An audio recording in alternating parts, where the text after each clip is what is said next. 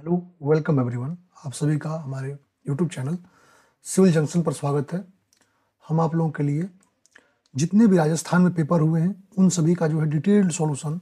Provide करने वाले हैं जिनमें से आपके वन सेकंड जो राजस्थान में जो इन्वायरमेंटल का पेपर जो आपका जे एस का होता है उसका सोल्यूशन प्रोवाइड अभी हम फिलहाल कर रहे हैं इसके अलावा जो भी आर के पेपर हैं राजस्थान के ए e के पेपर है आर के सारे एक एक करके हम लोग सॉल्व कराएंगे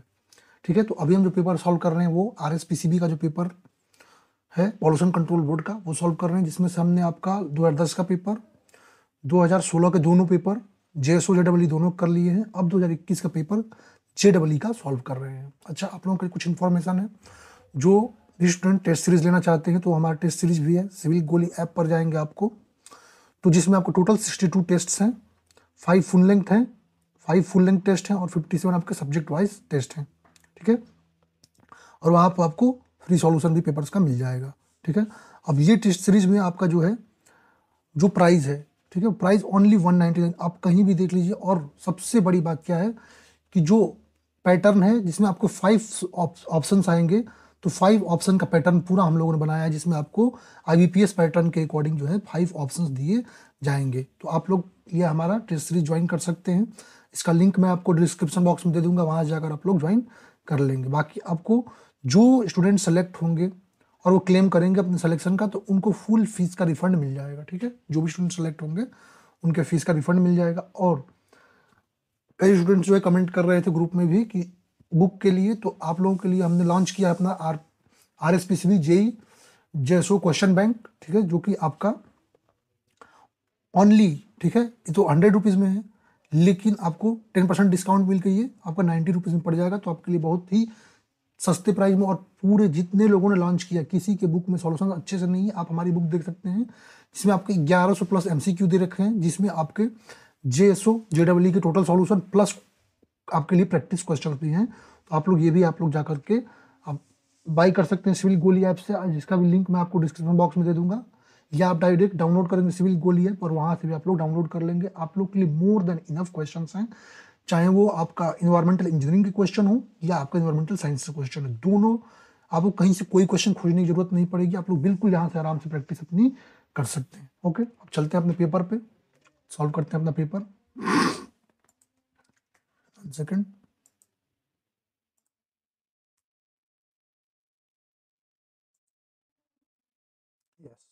चलिए चलते हैं अपने पहले क्वेश्चन पे जो कि अपना पेपर है जे डबल ई का पेपर दो हज़ार इक्कीस बाईस वाला जो आपका पेपर है वो है तो हम पहला क्वेश्चन देखते हैं कह रहे the stability of the stratosphere is due to which of the following reason कह रहा है जो हमारा स्ट्रेटोस्फियर है ठीक है उसकी स्टेबिलिटी किस रीजन के कारण होती है ठीक है वो स्टेबल किस रीजन से weak wind currents strong wind currents absorption of solar energy by ozone layer या प्रेशर इज मिनिमल किसके कारण जो स्टेटोस्फेयर की आपकी स्टेबिलिटी है ठीक है तो जो हमारा ओजोन लेयर है ठीक है जो ओजोन लेयर है स्टेटोस्फीयर में वो क्या करता है जो भी रेडिएशंस होती है ठीक है जो रेडिएशन आती है सन सन के द्वारा उसको क्या करता है ऑब्जॉर्व करता है ठीक है और ये जो है जो रेडिएशन को एब्जॉर्व करके जो एनर्जी इसमें से निकलती है ठीक है यही मेन की फैक्टर होता है आपके स्टेटोस्फेरिक स्टेबिलिटी का ठीक है ये जो एनर्जी है वही आपका स्टेट स्टेटोस्फेरिक स्टेबिलिटी का सबसे बड़ा की रीजन होता है ठीक है तो आपका सही सबसे सही ऑप्शन क्या हो जाएगा तो option number C absorption of solar energy by ozone layer ठीक है जो ओजोन लेयर के द्वारा जो सोलर एनर्जी का एब्जॉर्प्शन हो रहा है वही आपका स्टेटोफेयर के आपका स्टेबिलिटी का सबसे बड़ा की रीजन होता है ओके चलेंगे नेक्स्ट क्वेश्चन पे हम तो टेक्निकल क्वेश्चन देख रहे हैं तो बाकी आप देख सकते हैं कह रहे हैं which country launch the vulture action plan 2025 to activate increase the number of vultures ठीक है जो वेल्चर्स हैं जो गिद्ध हैं उनकी जो नंबर ऑफ जो है उनकी आ, जो है वो संख्या बढ़ाने के लिए उनकी पॉपुलेशन को इंक्रीज करने के लिए ठीक है कौन सी कंट्री है जिसने आपका वल्चर एक्शन प्लान 2022 25 लॉन्च किया है तो आपका इंडिया जो है ठीक है ये भी थोड़ा आपका जनरल नॉलेज से रिलेटेड क्वेश्चन है करंट से उससे रिलेटेड है लेकिन बता दे रहा हूँ जो इंडिया है उसने आपके वल्चर्स जो आपके गिद्ध हैं उनकी संख्या को बढ़ाने के लिए ये प्रोग्राम लॉन्च किया है ओके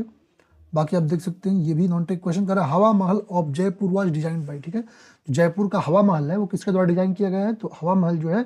लालचंद उस्ताद के द्वारा डिजाइन किया गया है सही ऑप्शन ऑप्शन नंबर बी इन्होंने इसे डिजाइन किया है चलते हैं ये क्वेश्चन अपना पांचवा कर रहा है when environmental lapse rate E L R is less than adiabatic lapse rate A L R then which of the following occurs कह रहा है जब आपका इन्वायरमेंटल लैप्स रेट है वो less than adiabatic lapse rate है तो क्या होगा कह रहे सुपर एडियाबैटिक लैप्स रेट होगा वो या न्यूट्रल लैप्स रेट होगा या एडियाबैटिक लैप्स रेट होगा या सब एडियाबैटिक लैप्स रेट होगा चलिए इसके बारे में थोड़ा बहुत देखते हैं फिर आते हैं अपने क्वेश्चन पर ठीक है ओके अच्छा लैप्स रेट क्या होता है ठीक है लैप्स रेट क्या होता है तो आपका जो ट्रोपोस्फियर है ठीक है ट्रोपोस्फियर में क्या होता है जो ट्रोपोस्फेयर का टेम्परेचर है वो सराउंडिंग एयर जो उसको चारों ओर से घेरे रहती है एयर ठीक है उसके कारण क्या होता है नॉर्मली डिक्रीज होता है ठीक है जो ट्रोपोस्फियर है उसमें जो टेम्परेचर ऑफ सराउंडिंग एयर वो क्या होता है नॉर्मली डिक्रीज होता है जैसे जैसे आप एल्टीट्यूड जैसे जैसे एल्टीट्यूड पर जैसे जैसे हाइट पर जाएंगे जैसे जैसे हाइट इंक्रीज होगा वैसे वैसे आपका टेम्परेचर क्या होगा वो आपका टेम्परेचर डिक्रीज होगा ठीक है टेम्परेचर आपका क्या होगा डिक्रीज होगा एल्टीट्यूड के साथ साथ किसमें आपके ट्रोपोस्फियर में ये जो टेम्परेचर में जो चेंजिंग हो रही है ना ठीक है जो रेट ऑफ चेंजिंग क्या है जो इस टेम्परेचर का रेट ऑफ चेंजिंग है उसे हम कहते हैं लैप्स रेट क्या कहते हैं उसे लैप्स रेट कहते हैं ठीक है अब आते हैं क्या होता है एडियाबैटिक लैप्स रेट ठीक है अब एडियाबैटिक लैप्स रेट वह आपका लैप्स रेट है जिस पर आपका टेम्परेचर ऑफ एयर पार्सल जो है ठीक है वो क्या होता है उसमें कॉम्प्रेशन या एक्सपेंशन जो होता है ठीक है वो जैसे जैसे एलिवेशन चेंज होता है वैसे वैसे उसमें चेंजिंग के साथ कॉम्प्रेशन या एक्सपेंशन देखने को मिलता है ठीक है और ये क्या करता है आपका एडियाबैटिक लैप्स रेट इसमें कोई भी आपका हीट का एक्सचेंज जो है एयर पार्सल के बीच नहीं होता है एयर पार्सल और देखिए यहाँ एयर पार्सल ये हमारा एयर पार्सल है और ये उसका सराउंडिंग है ठीक है तो सराउंडिंग और एयर पार्सल के बीच में इसमें कोई भी हीट का एक्सचेंज नहीं होता है तो यह भी आप ध्यान रखेंगे एडियाबैटिक लैप्स के बारे में अब यदि हम बात करते हैं सब एडियाबैटिक लैप्सरेट ठीक है क्या होता है जब आपका इन्वायरमेंटल लैप्सरेट ठीक है जब आपका ई एल आर क्या ई एल आर जो है ये आपका लेस देन किससे होता है ये जब आपका लेस देन होता है एडियाबैटिक लैप्सरेट से किससे एडियाबैटिक लैप्सरेट से ठीक है जब ये आपका लेस होता है तो आपका कौन सा कंडीशन होता है तब वो होता है सब एडियाबैटिक लैप्सरेट ठीक है और ये आपका जो वेदर पैटर्न है या एटमोस्फेरिक स्टेबिलिटी है उसके अप्लीकेशन का सबसे इंपॉर्टेंट आपका लेप्सरट होता है ओके अब सुपर एडियाबैटिक लेप्सरट क्या है ठीक है जो भी आपका lapse rate greater than 9.8 degree centigrade 9.8 degree centigrade per kilometre से ज़्यादा हो ठीक है जो भी आपका लैप्स वो आपका 9.8 डिग्री पर सेंटीग्रेड पर किलोमीटर जो है उससे ज़्यादा हो उसको हम कहते हैं सुपर एडियाबैटिक या absolutely unstable lapse rate between dry and moist adiabatic ये अनस्टेबल होता है ठीक है तो अपने क्वेश्चन पे आते हैं तो क्या कह रहा है आपका कह रहा है क्वेश्चन कि जब आपका इन्वायरमेंटल लैप्स रेट है वो लेस देन है आपके एडियाबैटिक लैप्स रेट तो उसको क्या कहते हैं सब adiabatic lapse rate okay option number D is correct now proceeding on next question I think आपको पूरा अच्छे से समझ में आ रहा होगा ठीक है चलिए ये तो आपका मैथ का क्वेश्चन है ओके नेक्स्ट क्वेश्चन क्या कर रहे question number seven poor operation in unit leads to mud ball formation ठीक है अच्छा किसमें आपको कह रहा है किसमें जो होता है ये पुअर ऑपरेशन है यूनिट का जिसमें आपका जो मड बॉल का फॉर्मेशन होता है किसमें होता है आपका प्रेशर फिल्टर में ट्रिकलिंग फिल्टर में रैपिड सेंट फिल्टर में या अन एरोबिक फिल्टर में ठीक है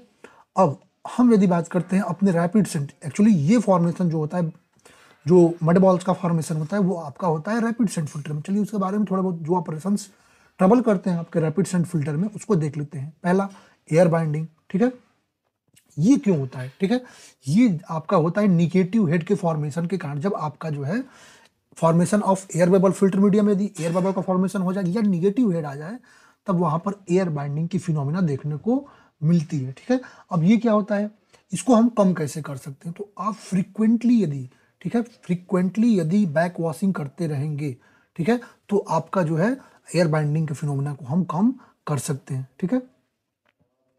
या हम क्या कर सकते हैं प्रोविजन दिया है कि आपका जो है डेफ्थ जो है उसको 15 से 30 मीटर बढ़ाकर रखेंगे तो भी आपका एयर बाइंडिंग का फिनोमिना होने से बचा सकते हैं ठीक है अब एक और है डेप्थ जो है 105 मीटर से अधिक हो ठीक ये भी एलिमिनेट करता है एयर बाइंडिंग को ठीक है बाकी एक और आपका प्रोसेस है आपका ठीक है अच्छा यदि आपका एयर बाइंडिंग हो गया ठीक है तो उसको क्या करेंगे प्रॉपर वॉशिंग करेंगे फिल्टर अच्छा प्रॉपर वॉशिंग कर लेंगे तो ये थोड़ा थोड़ा कम होने लगता है ठीक है और आपका निगेटिव हेड भी कम हो जाता है दूसरा आपका प्रॉब्लम क्या है दूसरा problem in construction of media यदि आपका ठीक है सैंड पार्टिकल जो है ठीक है यदि आपका वाटर सॉफ्टनिंग यदि आपका वाटर सॉफ्टनिंग राइज हो जाए किसी केस में ठीक है तो हम क्या करते हैं लाइम सोडा मिलाते हैं तब आपका क्या होता है सैंड पार्टिकल जो होता है उस पर ये वाटर जो लाइम सोडा है वो कोटेड हो जाता है अब इसके कोटेड होने से क्या होता है बैक वॉशिंग में इन सैंड पार्टिकल्स को निकलने में जो है वो मुश्किल होता है इनको निकालना मुश्किल डिफिकल्ट हो जाता है तो ये भी एक फिनोमिना है जो आपका रैपिड सैंड फिल्टर में अकर करता है ठीक है ओके नेक्स्ट करते हैं आपका क्रैकिंग ऑफ फिल्टर आपका जो है फिल्टर की क्रैकिंग ये कब होता है जब आपका वाटर जो है लोअर डाउन हो जाता है ठीक है आपका जो है water lower below the surface of sand sand से नीचे यदि आपका वाटर आ जाता है ठीक है तो आपका जो फिल्टर वेड है ठीक है उसमें क्या होता है सीमेंटिंग प्रोसेस के द्वारा जो ग्रेन बनते हैं उसके कारण क्रैकिंग प्रोसेस देखने को मिल कर, मिलता है इसको अवॉइड करने के लिए हम हैंड रेक या आपका ड्राइंग बेड से जो क्लॉक सेंड है उसको निकालते हैं ठीक है अगला क्या है बम्पिंग ऑफ फिल्टर बेड्स ठीक है तो आपका फिल्टर बेड्स की बम्पिंग की यदि बात करते हैं तो आपका जब इंटेंस आपका जो है इन इंस्टेंटेनियस यदि चेंजिंग आ रहा है आपके फिल्ट्रेशन के रेट में ठीक है तो उसको ग्रेजुअली हमको क्या करना पड़ता है एडजस्ट करना पड़ता है अब इसके कारण क्या होती है जो प्रोसेस बनती है इसको हम कहते हैं आपका क्या कहता है जब भी आपका इंस्टेंसन मतलब अचानक चेंजिंग होती है फिल्ट्रेशन रेट में ठीक है तो आपका ग्रेजुअली फिल्ट्रेशन रेट क्या होता है वो डिक्रीज होने लगता है इस प्रोसेस को हम क्या कहते हैं फिल्टर बम्पिंग ठीक है अब चलते हैं अपने क्वेश्चन पे पुअर ऑपरेशन तो ये आपका पुअर ऑपरेशन में जो मड वाल का फॉर्मेशन होता है ये मडबाल का फॉर्मेशन होता है आपका रैपिड सेंट फिल्टर में option number C is correct ये होता है आपका रैपिड सेंट फिल्टर में ठीक है ओके अरे what does the aerodynamic diameter of an aerosol indicate कर रहा है आपका जो एरोडाइनामिक डायमीटर है अर्सेनल को क्या इंडिकेट करता है size of the aerosol particle when floating in air average diameter of aerosol particles present in unit volume of air या maximum size of aerosol particle that can float in the air या equivalent diameter of sphere having same volume as that of aerosol ठीक है तो जो एरियोडाइनामिक diameter होता है ये आपका इक्विवेलेंट डायमीटर देता है किसी भी स्पेयर का ठीक है और ये क्या होता है having same volume as the जैसे जितना वॉल्यूम आपका आर्सेनाल का होता है उसका इक्वली जो है डायमीटर आपका एरोडायनामिक डायमीटर देता है ठीक है सही ऑप्शन क्या मिल जाएगा Option number D equivalent diameter of sphere having same volume as that of arsenal. चलते नेक्स्ट क्वेश्चन पे कह रहा है under the current EIA notification which category of projects would not require conducting an EIA study कह रहा है current EIA notification में ठीक है कौन सी ऐसी कैटेगरी है जो आपका रिक्वायर्ड नहीं है किसी भी ईआईए e प्रोसेस को करने के लिए ओके okay? तो आपका according to I A notification दो हज़ार छः हम क्या करते हैं जो प्रोजेक्ट्स हैं या एक्टिविटीज़ हैं उनको दो पार्ट्स में क्लासिफाई किया है एक है आपका कैटेगरी ए और एक है आपका कैटेगरी बी ठीक है एक क्या है आपका कैटेगरी ए और एक है कैटेगरी बी अब जो भी आपके आल प्रोजेक्ट्स आर और activities include as category A जो भी आपके कैटेगरी ए में प्रोजेक्ट्स आपके या एक्टिविटीज़ जो हैं वो इंक्लूड की जाती है उनके लिए प्रायर इन्वायरमेंटल क्लियरेंस है वो central government of ministry of environment and forest मतलब एम ओ ई एफ अब ये फुल फॉर्म याद रखिएगा ये फुल फॉर्म भी पूछता है इस कमेटी से आपको क्या लेना पड़ेगा परमिशन लेना पड़ेगा ठीक है जो भी आपका बी में आते हैं ठीक है जो भी आपके बी में आते हैं उसके लिए जो आपका स्टेट वाला इन्वायरमेंटल इंपैक्ट असेसमेंट अथॉरिटी होती है उससे क्लियरेंस लेना जरूरी होता है ठीक है और जो प्रोजेक्ट रिक्वायरिंग है आपका इन्वायरमेंटल इंपैक्ट असेसमेंट का रिपोर्ट उसको हम कहते हैं बी वन कैटेगरी ठीक है और जो आपका प्रोजेक्ट जिसके लिए आपको इन्वायरमेंटल इम्पैक्ट असेसमेंट की नीड नहीं होती उसको कहते हैं बी टू कैटेगरी ठीक है तो जो आपका यदि हम बात करें under the current E notification which category of project would not require conducting an E study किसके लिए ई e स्टडी की जरूरत नहीं है तो जो आपका बी टू है उसके लिए ई e स्टडी की जरूरत नहीं है तो option number D is correct चलते हैं नेक्स्ट क्वेश्चन पे where the size of a wooden block is 5 centimeter into 10 centimeter into अच्छा ये मैथ का क्वेश्चन आ हटाइए कह रहा है which of the following has the highest albedo ठीक है किसकी हाइजेस्ट एल्बिडो होती है तो आपका जो फ्लेस जो फ्रेस आपका स्नो है ठीक है उसके पास लार्जेस्ट रिफ्लेक्शन होता है ठीक है जिसके कारण उसका हाइजेस्ट एल्बिडो होता है जहां जबकि आपका जो एसफॉल्ट होता है जो एसफॉल्ट आप पूछ दे लोवेस्ट या हाइएस्ट एल्बिडो को पूछा है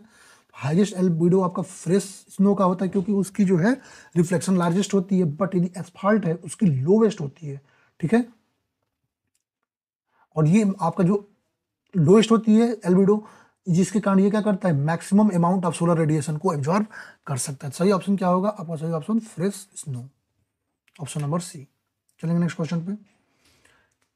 कह रहे which one is not an international agreement या protocol related to environmental protection कह रहे इनमें से कौन सा जो है international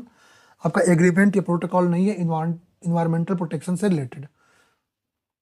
Montreal protocol London declaration Paris agreement और क्योटो प्रोटोकॉल चलिए इनको हम एक बार देखते हैं ठीक है एक सेकंड चलिए मॉन्ट्रियल प्रोटोकॉल को देखते हैं तो ये आपका जो है प्रोटोकॉल रिलेटेड है किसके ओजोन लेयर डिप्लीशन किससे ओजोन लेयर डिप्लीशन से ये आपका रिलेटेड है और इसका एग्रीमेंट इंटरनेशनल लेवल का हुआ 1987 में ठीक है और इसमें एमओयू पर लगभग 197 कंट्रीज हैं जिनका हस्ताक्षर है ठीक है चलिए और देखते हैं पेरिस एग्रीमेंट के बारे में देखते हैं ठीक है ये आपका किससे रिलेटेड है तो ये आपकी एक ट्रिटी है जो कि रिलेटेड है किससे क्लाइमेट चेंज से जो आपका पेरिस एग्रीमेंट किससे रिलेटेड है क्लाइमेट चेंज से ठीक है ये कब अडॉप्ट किया गया था इसमें जो है आपका 196 पार्टीज के द्वारा अडॉप्ट किया गया था ठीक है कब हुआ था तो पेरिस में आपका 12 दिसंबर 2015 को ये लागू हुआ था ठीक है तो आपका पेरिस एग्रीमेंट है वो आपका इन्वार क्लाइमेट चेंज से रिलेटेड है वैसे ही यदि हम आते हैं किस पे अपने क्योटो प्रोटोकॉल पर ठीक है तो क्रोट जो आपका क्योटो प्रोटोकॉल है ठीक है ये यूनाइटेड नेशन का एक क्लाइमेट चेंज का ये भी कन्वेंशन क्लाइमेट चेंज से रिलेटेड है जो कि आपका यूनाइटेड नेशन का है ठीक है और ये कब अडॉप्ट किया गया था नाइनटीन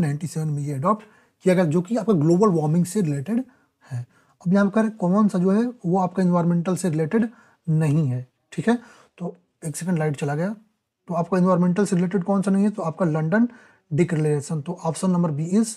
correct okay चलेंगे अपने नेक्स्ट क्वेश्चन पे ठीक है चलते हैं अपने नेक्स्ट क्वेश्चन पे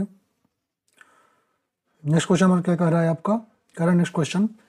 in an activated sludge process based waste water treatment plant stiff white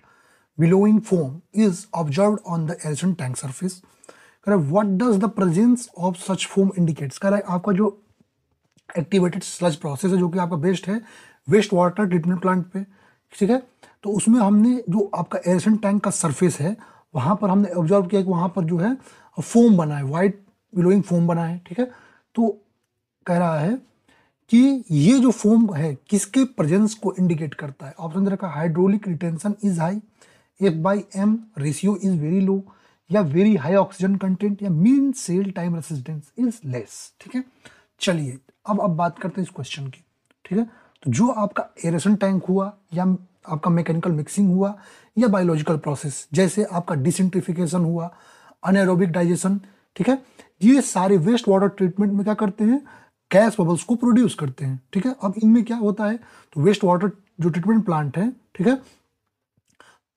वो उसमें क्या होते हैं सरफेक्टेंट जो कि आपके वेस्ट वाटर जो स्ट्रीम्स होती हैं जिनमें आपको कंटेंट किसका किसका होता है सरफेक्टेंट का होता है ठीक है जो कि आपका स्लोली डिग्रेड होते हैं और हाइड्रोफोबिक पार्टिकल होते हैं ठीक है जो हाइड्रोफोबिक पार्टिकल्स हैं उन पर जो है फिल्मेंटेनियस बैक्टीरिया हो, साथ होते हैं जिस पर एक स्ट्रक्चर चैन बनी होती है सरफेस का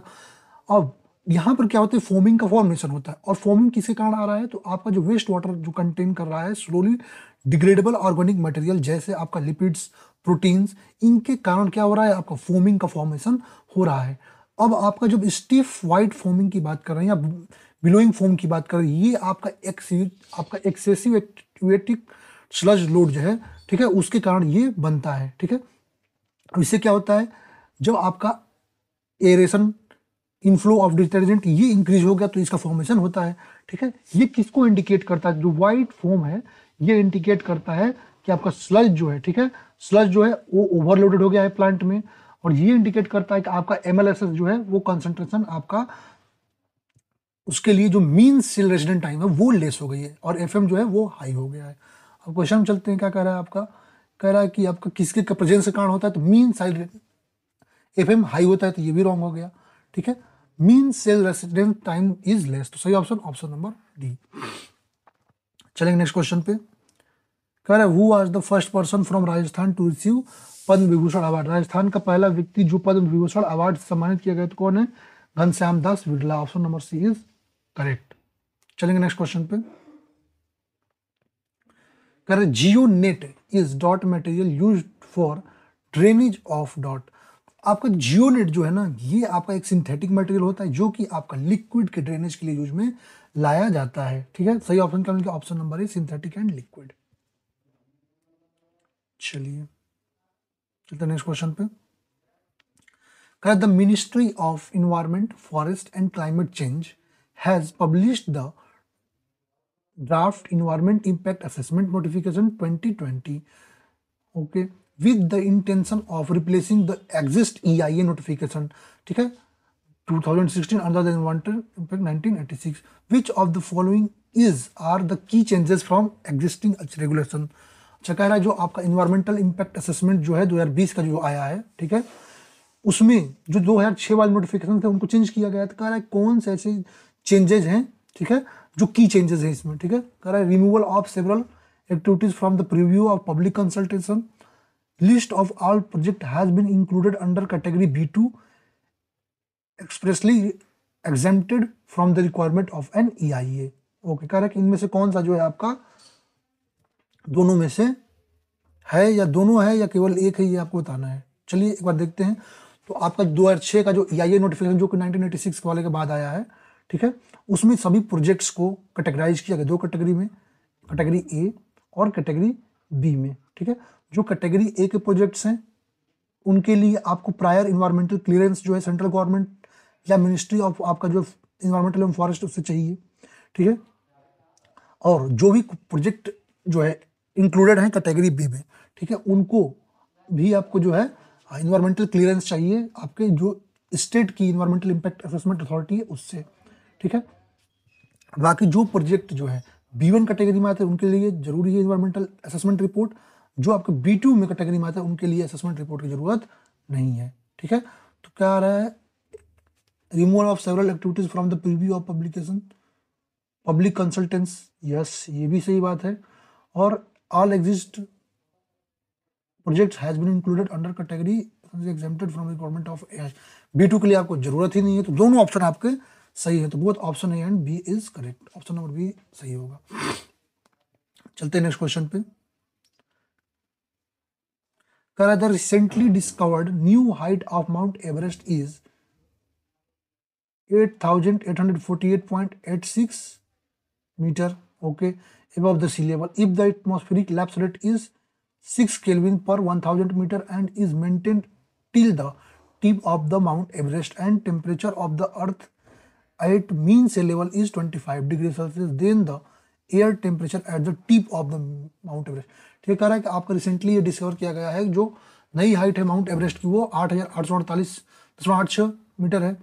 सी लेवल से कह रहा है यदि आपका एटमॉस्फेरिक जो है लैप्स रेट छः केलविन है पर एक थाउजेंड मीटर पर ठीक है और ये मेंटेन है कहाँ से आपका टील टील से लेकर टिप तक और कह रहा है average the temperature of the earth at mean sea level पर आपका टेम्परेचर ट्वेंटी डिग्री सेल्सियस कह रहा है टेम्परेचर आपके टिप पर कितना होगा माउंट एवरेस्ट के ओके okay? तो हम जब इसके लिए टेम्परेचर निकालते हैं ठीक है उसके लिए हम फॉर्मूला एक यूज होता हैं जब एयर टेम्परेचर निकालना होता है टिप पे उसके लिए एक फॉर्मूला होता है T equal to T not minus lambda H अब टी नॉट क्या है वहाँ टेम्परेचर एट सी लेवल है लैमडा क्या है आपका एटमोस्फेरिक लैप्स है एच क्या है हाइट ऑफ माउंटेन है तो इसमें यदि हम वैल्यूज़ को पुटअप करते जाते हैं जैसे आपका टेम्परेचर एट सी लेवल दे रखा है ट्वेंटी फाइव डिग्री सेल्सियस ठीक है माइनस आपका लैमडा जो है लेफ्ट साइड कितना दे रखा है आपका लेफ्ट साइड यहाँ पर छः केल्विन का लेफ्ट साइड दे रखा है ठीक है और ये हाइट दे रखी है तो आप इसको सॉल्व करेंगे तो आपका सही ऑप्शन आएगा कितना T equal to minus twenty eight point zero nine degree Celsius ठीक है तो सही ऑप्शन क्या मिल गया आपको न्यूमेरिकल का सही ऑप्शन ऑप्शन नंबर ए ठीक है ऐसे इसको सॉल्व करेंगे इस फॉर्मूला पे तो ये क्वेश्चन हो जाएगा चलते नेक्स्ट क्वेश्चन पे कर to save on transportation time the fuel transfer station should be set up in large cities cities where disposal sites are more than. अच्छा ट्रांसपोर्टेशन टाइम को यदि आपको सेव करना है फ्यूल ट्रांसफरिंग स्टेशन के लिए तो कह रहा है कि लार्ज सिटीज़ की डिस्पोजल साइट्स जो हैं उनकी डिस्टेंस कितनी होनी चाहिए मोर देन कितनी होनी चाहिए fifteen kilometre away ten kilometre away five kilometre और ट्वेंटी किलोमीटर अवे ठीक है तो अकॉर्डिंग टू आपका जो सॉलिड मैनेजमेंट रूल है टू थाउजेंड सिक्सटीन का इंडिया का ठीक है यदि आपका डिस्टेंस डिस्पोजल और कलेक्शन साइट एरिया के बीच मोर देन 15 किलोमीटर है तो ये आपका एक इकोनॉमिकल सेटअप होता है आपका ट्रांसपोर्टेशन के लिए चाहे आपका फ्यूल हुआ ये क्या करता है आपका ट्रांसपोर्टेशन टाइम बचाता है फ्यूल का ठीक है तो कितना होना चाहिए वो 15 किलोमीटर होना चाहिए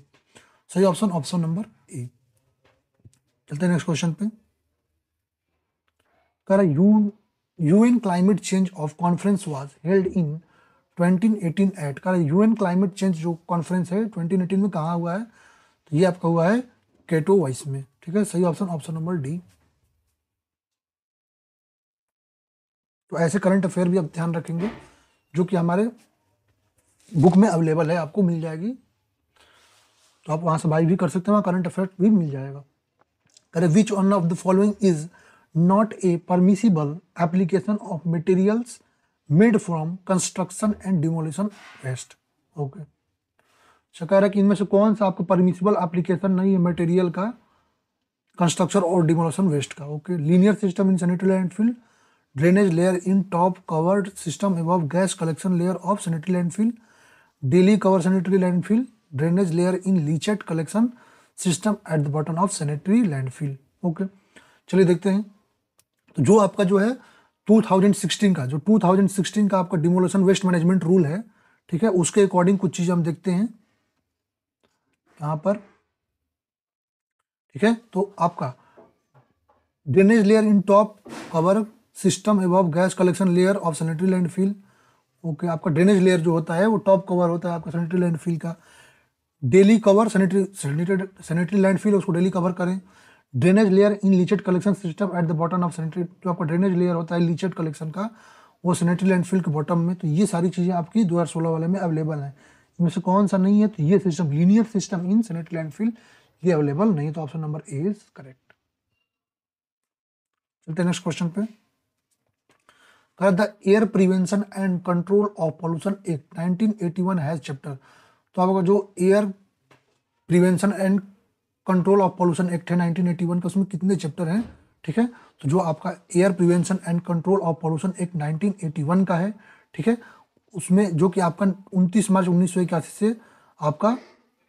लागू हुआ ठीक है इसमें लगभग कितने चौवन सेक्शन है कितने चौवन सेक्शन है और सात चैप्टर हैं कितने चैप्टर हैं सात चैप्टर हैं ठीक है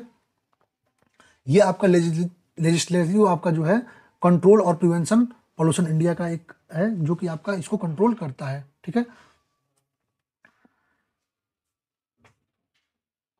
सही कितना होगा इसमें आपका सात चैप्टर है तो option number C is correct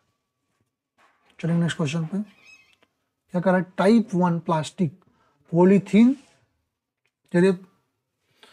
let is commonly found in ठीक है टाइप वन प्लास्टिक के बारे में पूछ रहा है किसमें पाया था इरिगेशन पाइप में soft drinks and water bottle में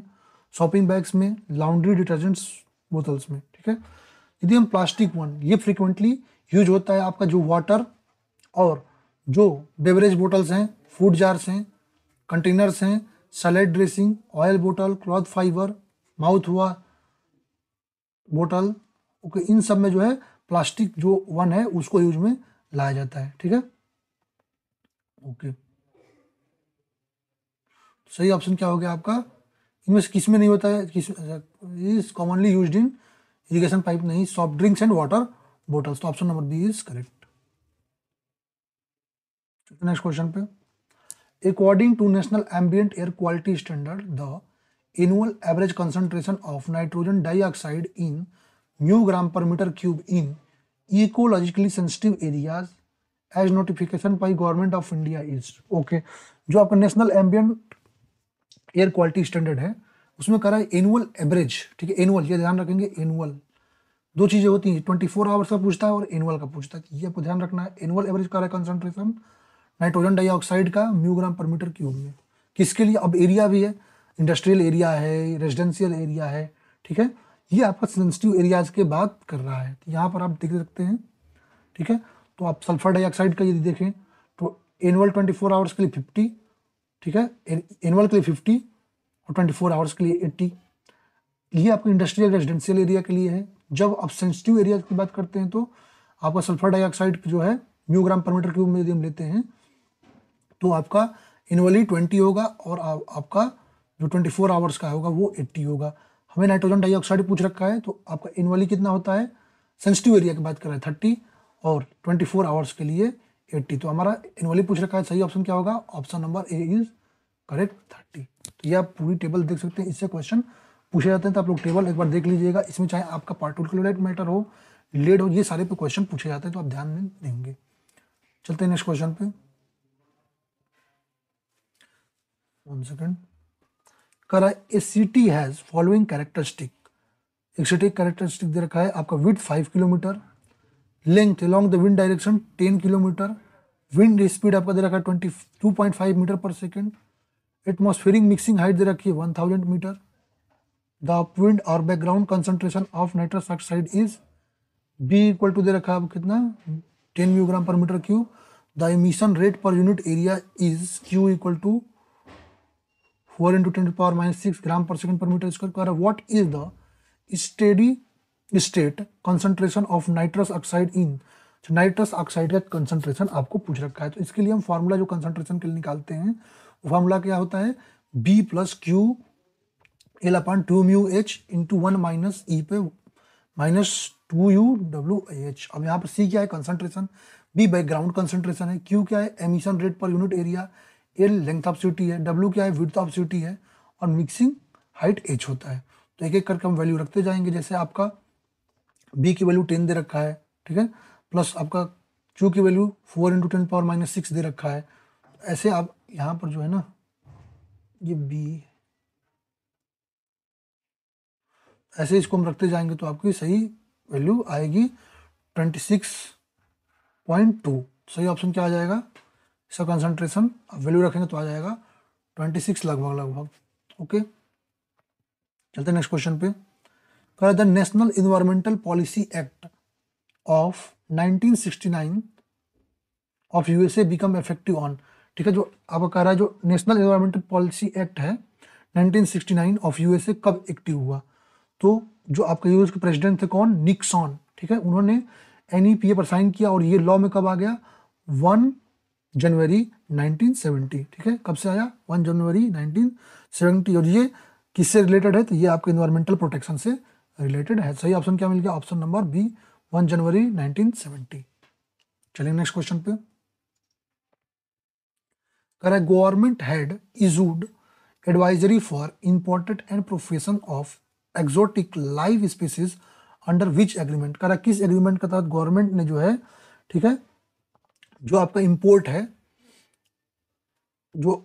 एक्सोटिक लाइव स्पीसीज है उनके इंपोर्ट के लिए एडवाइजरी किसके तहत आपका लॉन्च किया है ठीक है अच्छा एग्जोटिक लाइव स्पीसीज का मतलब क्या होता है ठीक है तो जो आपका एनिमल्स जो कि आपका अपेंडिक्स वन ये अपेंडिक्स रूल का टू और थ्री में आते हैं ठीक है उनके लिए international trade and international trade in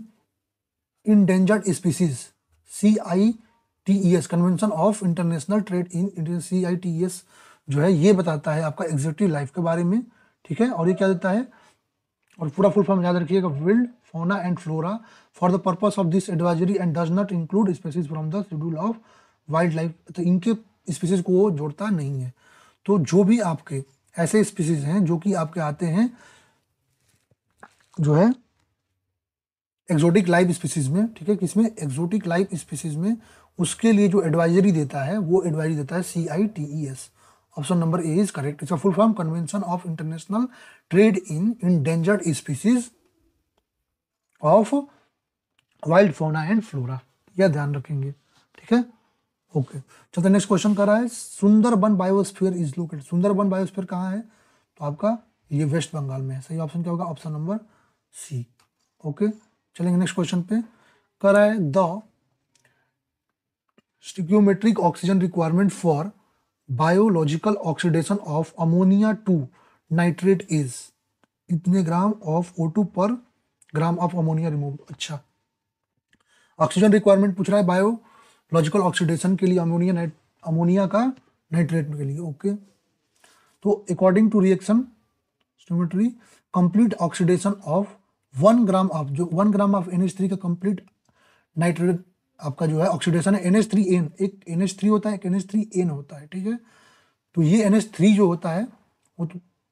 ठीक है उसको नाइट्रेट में कन्वर्ट करने के लिए आपको कितना चाहिए four point five seven gram of oxygen कितना चाहिए four point five seven gram of oxygen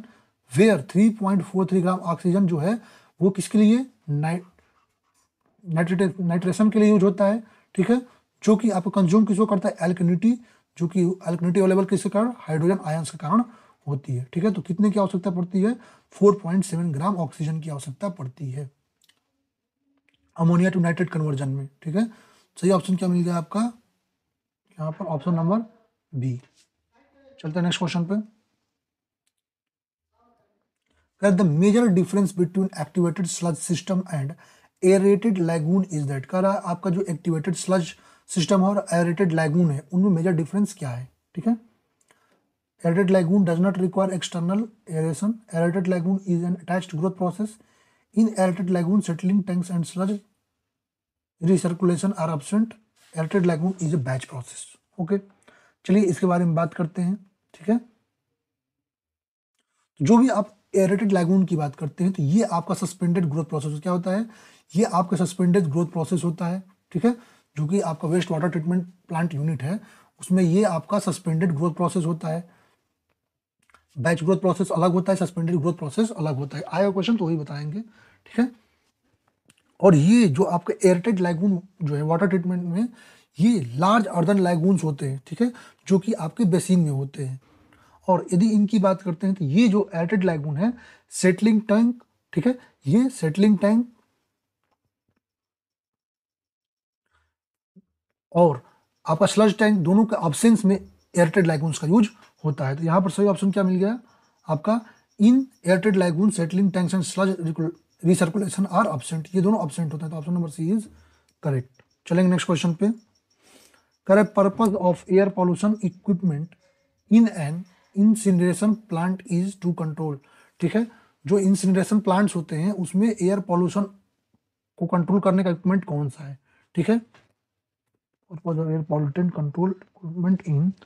skin pollution control करने के लिए उसमें इक्विपमेंट का यूज किया जाता है ठीक है तो जो एयर पॉल्यूशन कंट्रोल इक्विपमेंट्स हैं इंटरनेशनल प्लांट में वो कंट्रोल किसको करते हैं पार्टिकुलेट्स को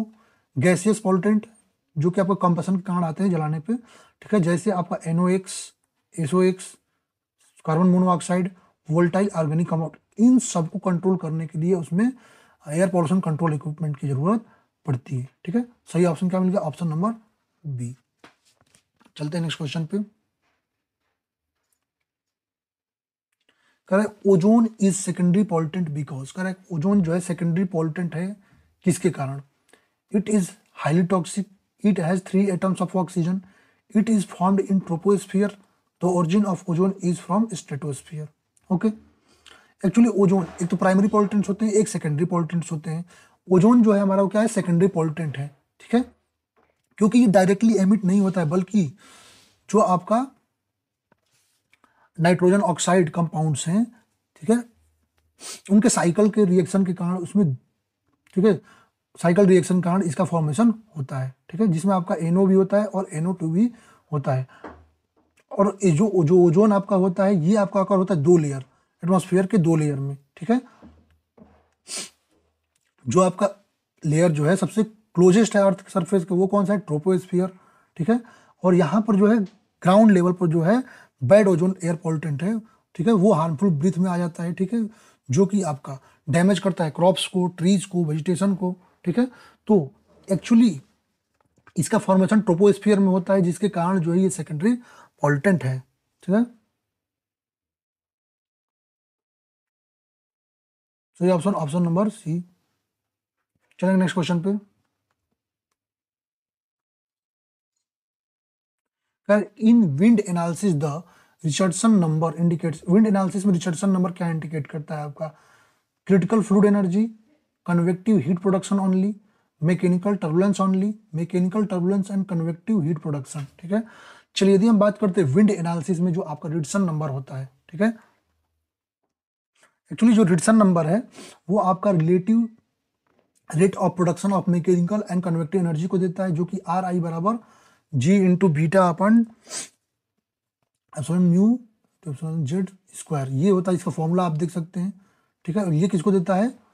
एनर्जी को देता है ठीक है ये किसको देता है आपका heat production energy convective energy को देता है सही ऑप्शन ऑप्शन नंबर डी चलेंगे नेक्स्ट क्वेश्चन पे करें for effective composting of municipal solid waste moisture content of the waste should be करें आपका जो म्यूनिसिपल सॉलिड वेस्ट है उसके इफेक्टिव कंपोस्टिंग के लिए मॉइस्चर कंटेंट वेस्ट में कितना होना चाहिए less than 12 percent by weight between 45 to fifty five percent by weight between 12 to 18 percent by weight या more than 60 percent by weight ठीक है तो आपका जो इफेक्टिव यदि हम बात करते हैं इफिशियंट कंपोस्टिंग आपकी यदि बात करते हैं तो उसके लिए आपका जो मॉइस्चर कंटेंट होना चाहिए वो कितना होना चाहिए forty to sixty percent forty to sixty percent C by N ratio कितनी होनी चाहिए ट्वेंटी फाइव टू थर्टी और एरेशन रेट जो होनी चाहिए zero point zero zero five to zero point zero zero three litre air per के ठीक है तो ये आपको ध्यान में रखना है ये सारे पैरामीटर्स तो हमारा ऑप्शन में कहीं दिख रहा है फोर्टी टू सिक्सटी तो नियर अबाउट जो हमारा दिख रहा है आपका ऑप्शन नंबर बी ठीक है fifty five to fifty five percent by weight चलें नेक्स्ट क्वेश्चन पे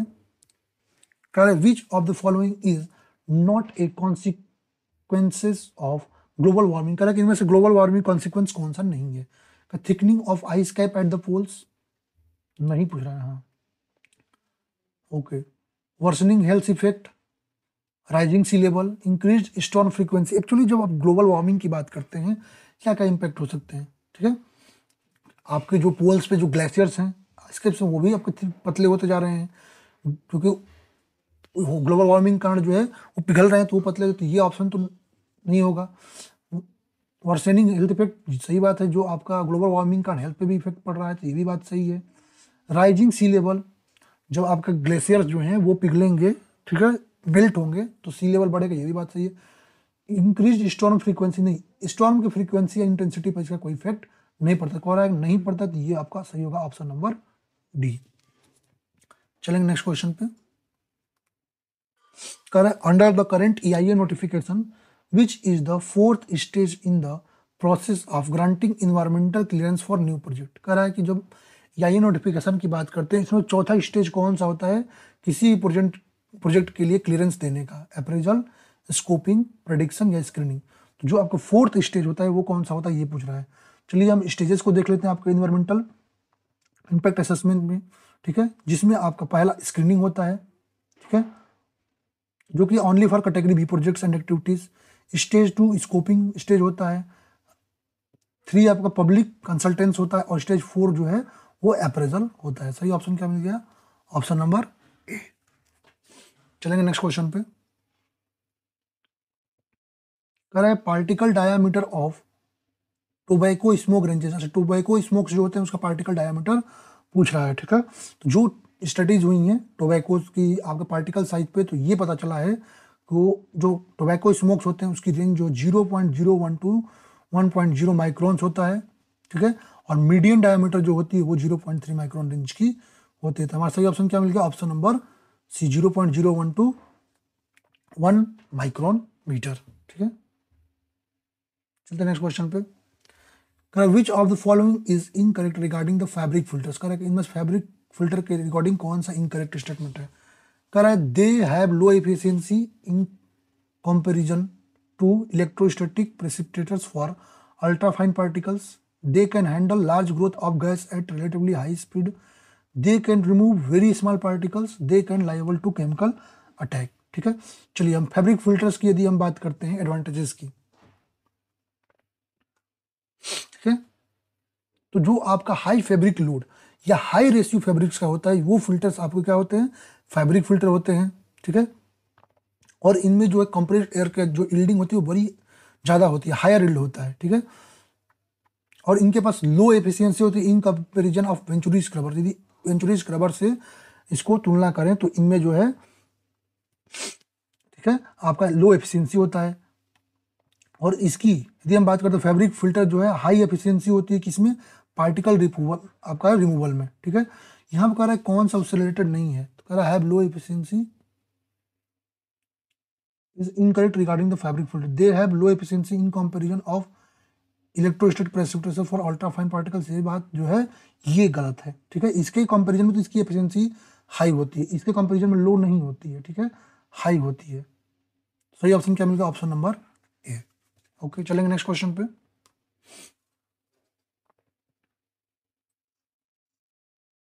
who is the only Indian actor to have featured in the Time Magazine list of 100 most influential people of 2020. Current affairs question है कौन सा actor पूछ रहा है कि आपका हंड्रेड मोस्ट इन्फ्लुएंशियल पीपल जो टाइम मैगजीन का लिस्ट है उसमें है अक्षय कुमार रजनीकांत अंशु कुमार खुराना शाहरुख खान तो Anshuman Khurana option number C नए वाला यदि पूछे तो शाहरुख खान आएगा ये भी याद रखिएगा आपके करंट अफेयर में शाहरुख खान का नाम आएगा at a municipal solid waste management facility the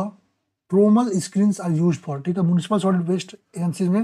जो ट्रोमल स्क्रीन होते हैं उसको किसके लिए यूज करते हैं separating non ferrous metals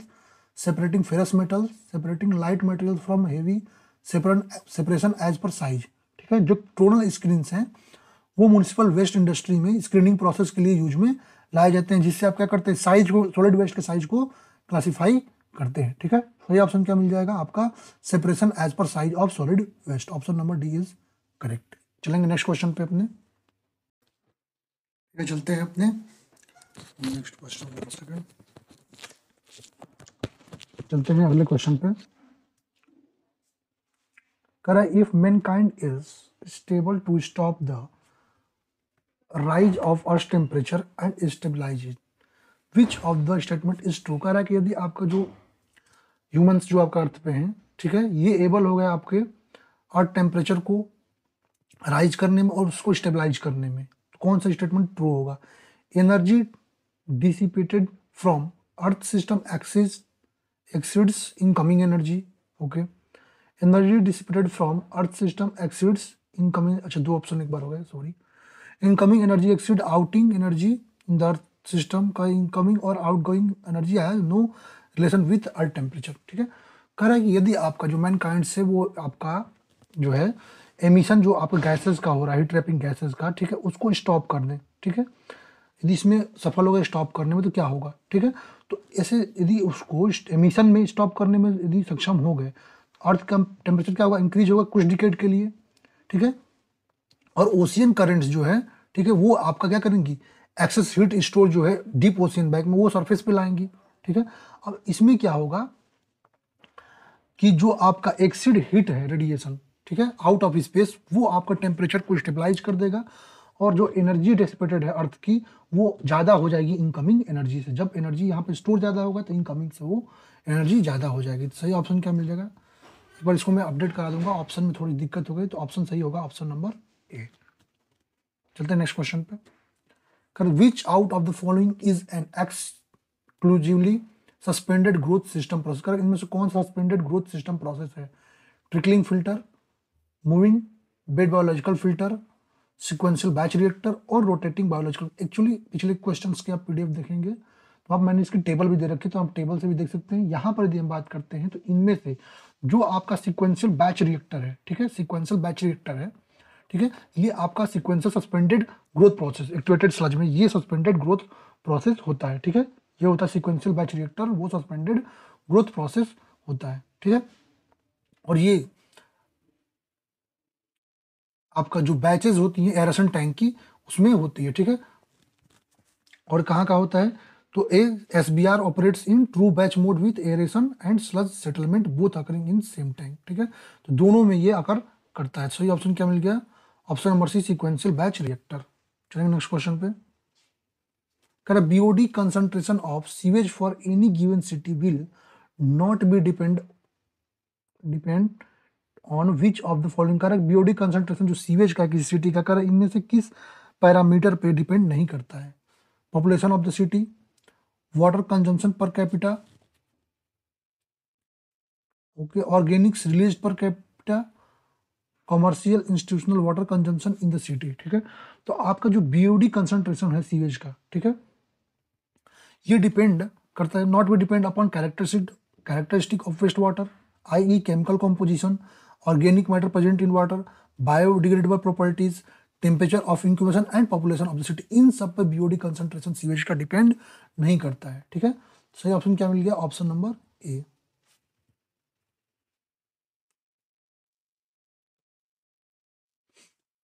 करें a fabric filter is treating 3000 cubic feet per minute अच्छा फैब्रिक फिल्टर है वो ट्रीट कर रहा है कितना three thousand cubic feet per minute of air with average air cloth ratio आपका two feet per minute the bags are eight point zero inches in diameter and twelve feet long कर estimate the number of bags in the bag house closest to compute value ठीक है total cloth area आपको निकालना है तो कैसे निकालेंगे total filter area of each filter into total number of bags ठीक है यहाँ पर टोटल जो फिल्टर एरिया है वो क्या होगा bag diameter into three point one four into length और divide by one forty four तो इससे निकाल लेंगे total area of each filter और टोटल नंबर ऑफ बैग्स निकालना है तो क्लॉथ एरिया में टोटल फिल्टर एरिया डिवाइड कर देंगे तो टोटल क्लॉथ एरिया कितना आ जाएगा दे रखा है आपका three thousand total cloth area निकाल लेंगे बाई टू करके three thousand by two feet per minute तो आपका कितना निकल गया फिफ्टीन हंड्रेड फीट स्क्वायर आएगा ठीक है टोटल नंबर ऑफ बैग्स तो उसको डिवाइड कर देंगे तो आपका लगभग छः सौ बैग्स आएंगे या नंबर कल देख सकते हैं सही ऑप्शन क्या आएगा ऑप्शन नंबर डी चलेंगे नेक्स्ट क्वेश्चन पे कह रहा है Indian navy navy day is celebrated on आपको इंडियन नेवी डे कब सेलिब्रेट किया था आपका फोर्थ ऑफ दिसंबर को सेलिब्रेट किया था option number D is correct next question का था contaminant that adheres the porous material is called ठीक है जो कंटेमिनेंट जो कि आप पोरस मटेरियल अडेयर करते हैं क्या कहलाते हैं सॉप्सन एब्जॉर्बेंट सॉर्बेट और सॉर्बेंट क्या कहलाते हैं चलिए एक बार देखते हैं ठीक है तो जो आपके सॉर्बेट होते हैं ठीक है द सॉर्बेट इज कंटेमिनेंट या आप कंटेमिनेंट होते हैं जो कि आपका आधार करते हैं कि इसको सॉर्बेंट और सॉर्बिंग मटेरियल ठीक है ये क्या होते हैं एक्चुअली ये ऑर्गेनिक मॉलिक्यूल होते हैं ये आपके क्या होते हैं एक, एक आपके ऑर्गेनिक मॉलिक्यूल होते हैं ठीक है जैसे सॉइल भी हो सकता है इसमें कौन सॉर्बेंट होगा यहाँ पर ओवरऑल मटेरियल का तो आपको सही ऑप्शन क्या मिल गया सॉर्बेंट ठीक है option number D is correct okay चलते हैं नेक्स्ट क्वेश्चन पे सेकंड सॉर्बेट तो option number C is correct यहाँ पर डी नहीं सी होगा चलते हैं नेक्स्ट क्वेश्चन पे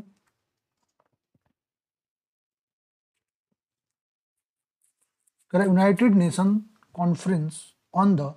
human environment was held at Stockholm in which of the following year ठीक है? The United Nation conference human environment पे हुआ था स्टॉकहोम में कब हुआ था तो यदि हम बात करते हैं तो 1972 में कब 1972 में United Nation conference on the human environment Stockholm में हुआ था ठीक है और ये कब हुआ था फर्स्ट वर्ल्ड वॉर के बाद हुआ था ठीक है ये आपका फर्स्ट कॉन्फ्रेंस है जो कि आपका मेजर एनवायरमेंट इश्यूज से रिलेटेड है सही ऑप्शन क्या मिल गया 1972 ऑप्शन नंबर ए चलिए नेक्स्ट क्वेश्चन पे sir which is the state bird of Rajasthan Rajasthan का स्टेट बर्ड कौन सा है तो आपका the great Indian bustard in which country a 500 meter high coral reef has been discovered first time इसमें आपको 500 मीटर ऊंचा जो है कोरल रीफ आपको मिला है तो वो आपका होगा Australia option number D is correct चलिए नेक्स्ट क्वेश्चन पे कर if absolute temperature of a black body becomes half ठीक है किसी ब्लैक बॉडी का एब्सोलूट टेम्परेचर हाफ हो जा रहा है का the maximum energy emitted by the black body changes by the factor of ठीक है तो जो फैक्टर चेंज होगा उसके लिए एक आपका लॉ है जिसको हम कहते हैं स्टीफन बोर्चमैन लॉ जो कि बताता है कि आपका जो है जो आपका डिस्चार्ज हुआ ठीक है जो वो होता है आपका प्रोपोर्शनल टू टी पे ही फोर मतलब टेम्परेचर पावर फोर तो इस तरह वन बाई टू रख दे रखा है हाफ दे रखा है तो आपका वैल्यू रखने तो आएगा क्यू आपका proportional to one by sixteen तो option number C is correct okay चलेंगे नेक्स्ट क्वेश्चन पे तरह है Diophantus often known as father of algebra अच्छा मैथ क्वेश्चन रीजनिंग क्वेश्चन है चलिए आगे चलते हैं करें which solar project of Rajasthan in 2020 was recognized as the largest cluster of photovoltaic power plant in a single region in the world with the installed power exceeding 2.2 अच्छा राजस्थान के project के बारे में कह रहा है कौन सा है जो कि सबसे बड़ा larger cluster of photovoltaic power plant है ठीक है सिंगल रीजन में तो वो है आपका भडला सोलर पार्क ठीक है सही ऑप्शन ऑप्शन नंबर बी चलिए नेक्स्ट क्वेश्चन पे कर central pollution control board has specified use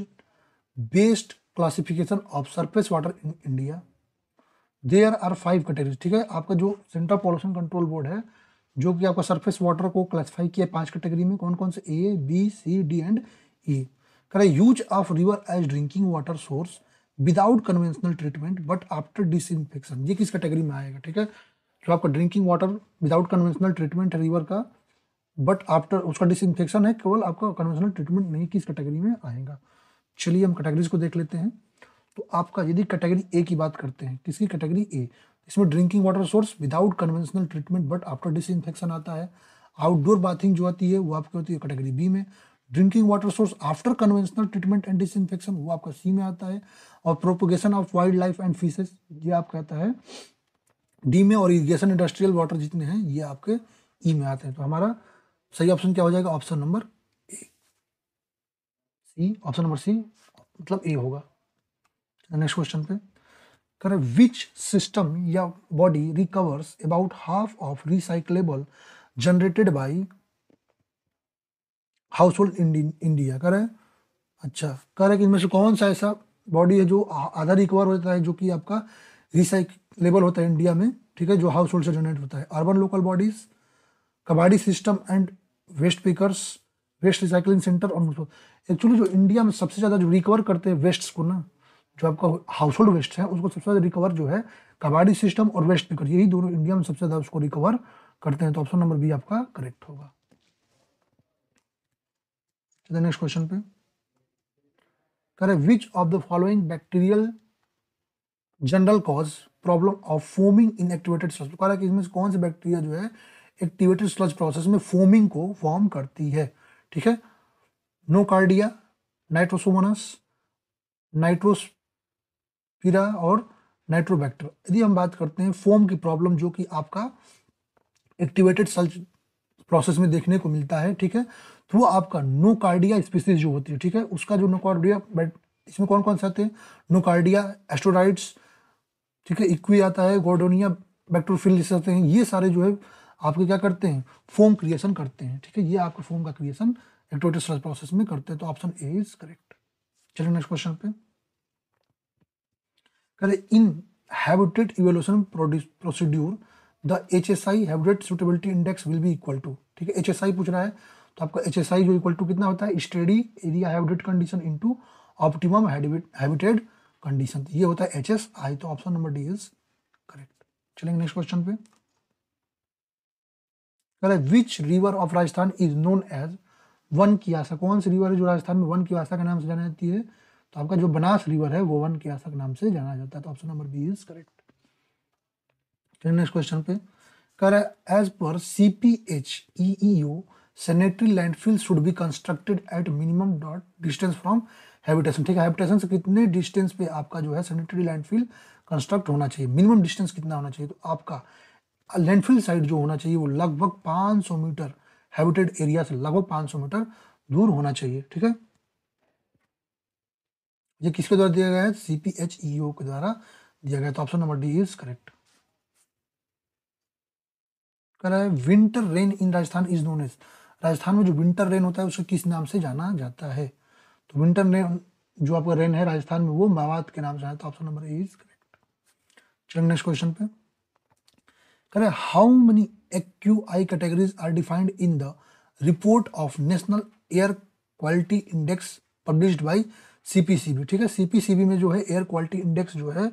कितने कैटेगरी में दिए गए हैं तो आपके ये कैटेगरीज कौन कौन से हैं तो लगभग छः कैटेगरीज हैं आपकी सॉरी एग्जैक्ट छः कैटेगरी है इसमें आपका good satisfactory mandatory polluted poor very poor and severe ये छह कैटेगरीज आती हैं सही ऑप्शन ऑप्शन नंबर सी चलेंगे नेक्स्ट क्वेश्चन पे कर COD to BOD ratio for sewage municipal waste typically lies in the range कर सीओडी टू बीओडी रेशियो ठीक है सीओडी बाई बीओडी पूछ रहा है आपका म्यूनिसिपल वेस्ट के लिए कितना होता है ठीक है ये कितना होता है तो आपका जो C edu to B ratio untreated municipal waste की बात करते हैं तो zero point three to zero point eight होता है ठीक है और ये कभी जीरो पॉइंट फाइव से हायर नहीं कंसिडर किया जाता ठीक है करें कितना तो आपको लगभग यदि हम बात करते हैं तो ये आपका जीरो पॉइंट थ्री मतलब जीरो पॉइंट फाइव से अधिक होना नहीं चाहिए यहाँ पे कोई रेंज मिल भी नहीं रहा इस क्वेश्चन में तो इसको देखेंगे एक बार चलते हैं नेक्स्ट क्वेश्चन पे कह रहे with reference to gas generation at a municipal solid waste landfill, concentration of dot shall not exceed dot from lower explosive limit. अच्छा गैस जनरेशन लिमिट की बात कर रहा है कि जिसमें आपका सॉलिड वेस्ट लैंड फिल्म में कंसनट्रेशन कितना से ज़्यादा नहीं होना चाहिए सेल नॉट एक्सीड और कितने से कम नहीं लिमिट पूछ रहा है दोनों का किसका कौन सा कंसनट्रेशन किसके कंसनट्रेशन कितनी लिमिट पूछ रहा है अच्छा तो जो आपका जो है the resource convention and recovery act जो है आर सी आर ए उसने दिया है ठीक है उसने क्या दिया है कि आपका जो लैंड फिल्स है ठीक है उसमें कंसंट्रेशन ऑफ मीथेन किसका कंसंट्रेशन मीथेन का कंसंट्रेशन ठीक है जो कि आपका municipal solid waste landfills का है वो आपका पच्चीस परसेंट से ठीक है लोअर एक्सप्लोजर लिमिट का नहीं होना चाहिए सही ऑप्शन क्या होगा यहाँ पर मिथेन और 25 परसेंट तो आपका सही ऑप्शन ऑप्शन नंबर सी चलिए नेक्स्ट क्वेश्चन पे A PM10 sampler runs for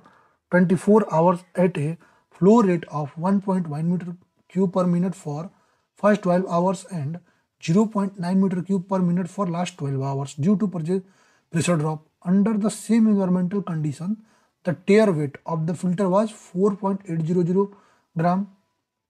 and final weight after sampling PM10 was 4.2 809 gram what is the 24 hours अच्छा पीएम 10 कंसंट्रेशन पूछ रहा है जब हम पीएम 10 कंसंट्रेशन निकालते हैं सी इक्वल टू क्या होता है W F minus W I upon V into ten to the power six ठीक है अब एक एक चीज़ों को देख लेते हैं तो यहाँ पर भी हमको निकालना है पहले वॉल्यूम निकालना है हमको ठीक है तो वॉल्यूम कैसे निकालेंगे तो आपका दे रखा है one point one metre cube तो इसको चेंज कर लेंगे per minute per twelve hours तो इसको सिक्सटी से मल्टीप्लाई करेंगे तो लगभग भी आपका स्क्वायर करेंगे तो आपका फोर्टीन फोर्टी मीटर क्यूब आएगा फिर वैल्यूज़ को रखते जाएंगे तो initially four point eight finally four point eight zero nine और initially four point eight zero उसमें वॉल्यूम से डिवाइड करेंगे तो लगभग लगभग six point two five mu gram per meter cube आएगा ठीक है सही ऑप्शन आपका हो जाएगा ऑप्शन नंबर डी तो आप इसको देख सकते हैं मेरिकल है चलिए नेक्स्ट क्वेश्चन पे चूंकि मेरिकल को ऐसे इसलिए रखें ज़्यादा टाइम कंज्यूम आपका ना हो चूंकि मैथड तो सही नहीं है बट आपको टाइम बचाने के लिए ऐसा कर रहे हैं drinking water quality is assessed in terms of its physical, chemical, microbiological and radiological parameter as defined as the standard specification of drinking water quality published by Bureau of Indian Standard BIS which of the following is acha dekhiye drinking water quality ki jo parameters हैं kaun sa aapka BIS standard jo hai wo decide karta hai theek hai to aapko drinking water parameters ko aapka kaun publish karta hai to is 10500 2012 theek hai option number a is correct चलते next question पे कर who was the first women to win the Nobel prize Nobel prize जीतने वाली पहली women कौन है Irene Joliot Curie Marie Curie Emmanuelle Charpentier Maria Goeppert Mayer आपको यदि बात करते हैं सबसे पहली वुमेन कौन है नोबेल प्राइज जीतने आपको पता है Marie Curie option number B which is the largest largest source for production of nitrous oxide का इनमें से नाइट्रस ऑक्साइड के प्रोडक्शन का सबसे लार्जेस्ट सोर्स सोर्स कौन सा है bacterial action chemical industry fertilizer industry fossil fuel combustion ठीक है तो आपका यदि हम बात करते हैं नाइट्रस ऑक्साइड का सबसे बड़ा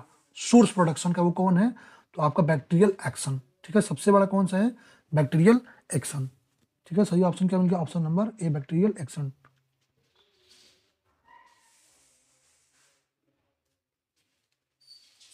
कह रहा है a dot calorimeter is a type of dot calorimeter used in measuring the heat of combustion of a particular reaction अच्छा कौन सा आपका कह रहा है ना कौन सा कैलोमीटर है किस टाइप कैलोमीटर को मेजर करता है जो कि आपका हीट कंबसन बताता है पार्टिकुलर रिएक्शन का ठीक है तो आपका यहाँ पर जो होता है बम कैलोमीटर जो होता है एक प्रकार का आपका कॉन्स्टेंट वॉल्यूम कैलोमीटर होता है जो कि यूज किया जाता है हीट ऑफ कंबसन को किसी भी रिएक्शन के पार्टिकुलर रिएक्शन के हीट ऑफ कॉम्बसन को मेजर करने के लिए यूज में लाया जाता है ठीक है यहाँ सही ऑप्शन क्या मिल गया ऑप्शन नंबर ए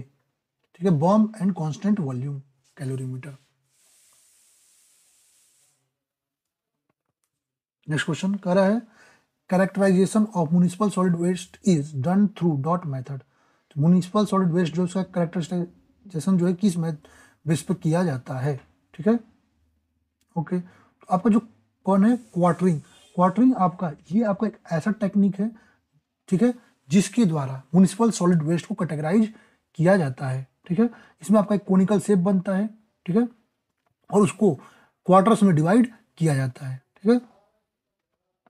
तो आपका किसमें तो सही ऑप्शन मिल गया आपका ऑप्शन नंबर बी क्वार्टरिंग चलते नेक्स्ट क्वेश्चन पे कह रहा है as per biomedical waste management rules 2016 which method of disposal is permitted only in rural or remote area where there is no access to common biomedical waste treatment facility कह रहा है कि आपका as per biomedical waste management rule ठीक है 2016 कौन सा ऐसा आपका मेथड है डिस्पोजल का ठीक है जो कि आपका रूरल एरिया रिमोट एरिया में जहाँ पर एसेसिबिलिटी नहीं है आप कॉमन बायोमेडिकल ट्रीटमेंट प्लास्टिक तो उसके लिए आपको परमिशन देता है ठीक है तो आपका जो डिस्पोजल बाय डीप बरियल किसका डिस्पोजल बाई डीप बरियल आपका परमिट किया जाता है ओनली इन रूरल और रिमोट एरियाज जहां पर आपका common biomedical waste treatment facility available नहीं है ठीक है इसके लिए भी आपको अप्रूवल लेनी पड़ती है अथॉरिटीज से सही ऑप्शन क्या मिल गया option number C deep burial sloughing is the process in which sloughing कौन सा प्रोसेस होता है ठीक है microorganism grow in dense film on reaction with organic matter endogenous metabolism occurs at the biofilm source re-establishment of biofilm due to high organic loading weakening of attached biofilm occurs due to sealing action of water ठीक है restoring कैसा process होता है तो जब आपका at the biological film continues to grow जैसे जैसे आपका बायोलॉजिकल फिल्म जो होता है ग्रो होता है माइक्रो ऑर्गेनिज्म जो होते हैं नियर द सर्फेस वो अपनी एबिलिटी को लूज करते जाते हैं ठीक है इस प्रोसेस को हम क्या कहते हैं इस प्रोसेस को कहते हैं हम स्लोइंग तो सही ऑप्शन क्या मिल गया weakening of attach biofilm shearing action of waste water option number D is correct correct sum of oxygen demand parameters for an organic compound या water are theoretical COD chemical ultimate BOD if an organic compound is assumed to be completely biodegradable which of the following is true अच्छा completely biodegradable के लिए ठीक है तो आपका यदि T H O D mostly greater than C OD कभी भी थ्योरेटिकल जो आपका है वो कभी भी सी ओडी से ज़्यादा होता है ठीक है B O zero point nine zero आपका T H O D T H O D B O D से तो आपका यदि सही फॉर्मेशन की बात करते हैं तो सबसे ज़्यादा टी एच ओ डी होगा उसके बाद अल्टीमेट बीओडी उसके बाद सीओडी तो ऑप्शन कौन सा ही है तो option number B is correct चलेंगे नेक्स्ट क्वेश्चन पे कर as per S W M rule horticulture waste from parks and garden should be ठीक है collected separately and treated on site ठीक है जो आपका एस डब्ल्यू एम रूल है उसके अकॉर्डिंग जो हॉर्टिकल्चर वेस्ट हैं पार्क और गार्डन के उनके लिए कौन सा इसमें सही correct collected separately and treated on site, collected along with municipal solid waste and treated at disposal site, collected and treated chemically, collected and treated off site तो यदि एस डब्ल्यू एम रूल की बात करते हैं जो भी horticulture waste हैं ठीक है उनको कलेक्ट सेपरेटली करेंगे और ऑन साइड पर ट्रीट करते हैं सही ऑप्शन क्या मिलेगा ऑप्शन नंबर ए चलें नेक्स्ट क्वेश्चन पे कह according to Gaussian plume model the downwind ground level concentration Siri C varies with the effective stack height H of release H. Gaussian plume model के according पूछ रहा है कि आपका जो है कॉन्सेंट्रेशन जो है downwind ground level concentration vary करती है स्टेक हाइट से रिलेशन पूछ रहा है दोनों के बीच तो आपको देख सकते हैं ये गॉसियम प्लूम मॉडल है ठीक है C X Y Z equal to Q upon two pi sigma Y downwind direction है अरे ये किससे तो ये यदि हम बात करते हैं ठीक है सी जो है वो का स्टेक हाइट के साथ वेरी करता है जो कि होता है आपका ठीक है एल एन सी पे पावर एच माइनस टू तो इसके साथ ये वेरी करता है सही ऑप्शन ऑप्शन नंबर डी यहाँ पर मिल जाएगा ठीक है चलेंगे नेक्स्ट क्वेश्चन पे कर the colour of star indicates is तो स्टार की कलर क्या इंडिकेट करती है मास डिस्टेंस टेम्परेचर और ह्यूमिनोसिटी यदि हम बात करते हैं जो कलर ऑफ स्टार है वो टेम्परेचर को आपका कौन मोस्टली किसको इंडिकेट करता है टेम्परेचर को ठीक है सही ऑप्शन क्या मिल जाएगा आपका option C option number C हम गलत हो गया है चलो नेक्स्ट क्वेश्चन पे कर which of the following are contradictory plume correct इनमें से कौन सा कॉन्ट्राडिक्टरी प्लूम है जो एक दूसरे को कॉन्ट्राडिक्ट करता है फॉगमेंटिंग and trapping lofting and fumigating neutral and lofting looping and coning ठीक है तो इन लूपिंग प्लूम जो आपका लूपिंग प्लूम होता है उसमें जो सुपर एडियाबेटिक लैप्स रोट होता है ठीक है वो स्टेक्स एवब होता है जो आपका फ्यूमिगेटिंग प्लूम होता है इसमें जो है आपका एडियाबेटिक लेप्स होता है वो स्टेक से बिलो होता है तो दो ये दोनों एक दूसरे कॉन्ट्राडिक्टरी प्लूम है सही ऑप्शन क्या मिलेगा option number B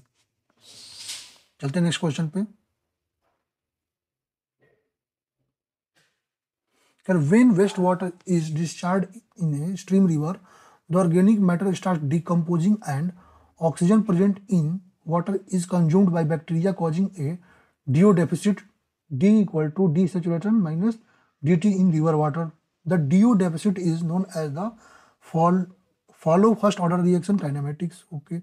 which one out of the following correctly represent this reaction kinetics in it is time du you ये बहुत बड़ा न्यूमेरिकल है जो कि आपको फर्स्ट ऑर्डर रिएक्शन पे आपको सॉल्व करना है मैं आपको रिएक्शन बता दे रहा हूँ ठीक है तो इसको जब सॉल्व करेंगे ठीक है general first order kinematic reaction को यूज करेंगे ठीक है तो ये आपका ए इक्वल टू आता है क्या ये नॉट ये आपका जनरल आपका जो है फर्स्ट ऑर्डर उसका यहाँ पर हम लोग वो डेरिवेशन तो करेंगे नहीं first order kinematic reaction A equal to A not E power minus K T अब इससे जब हम तुलना करते हैं तो डी टी इक्वल टू क्या हो जाएगा D not X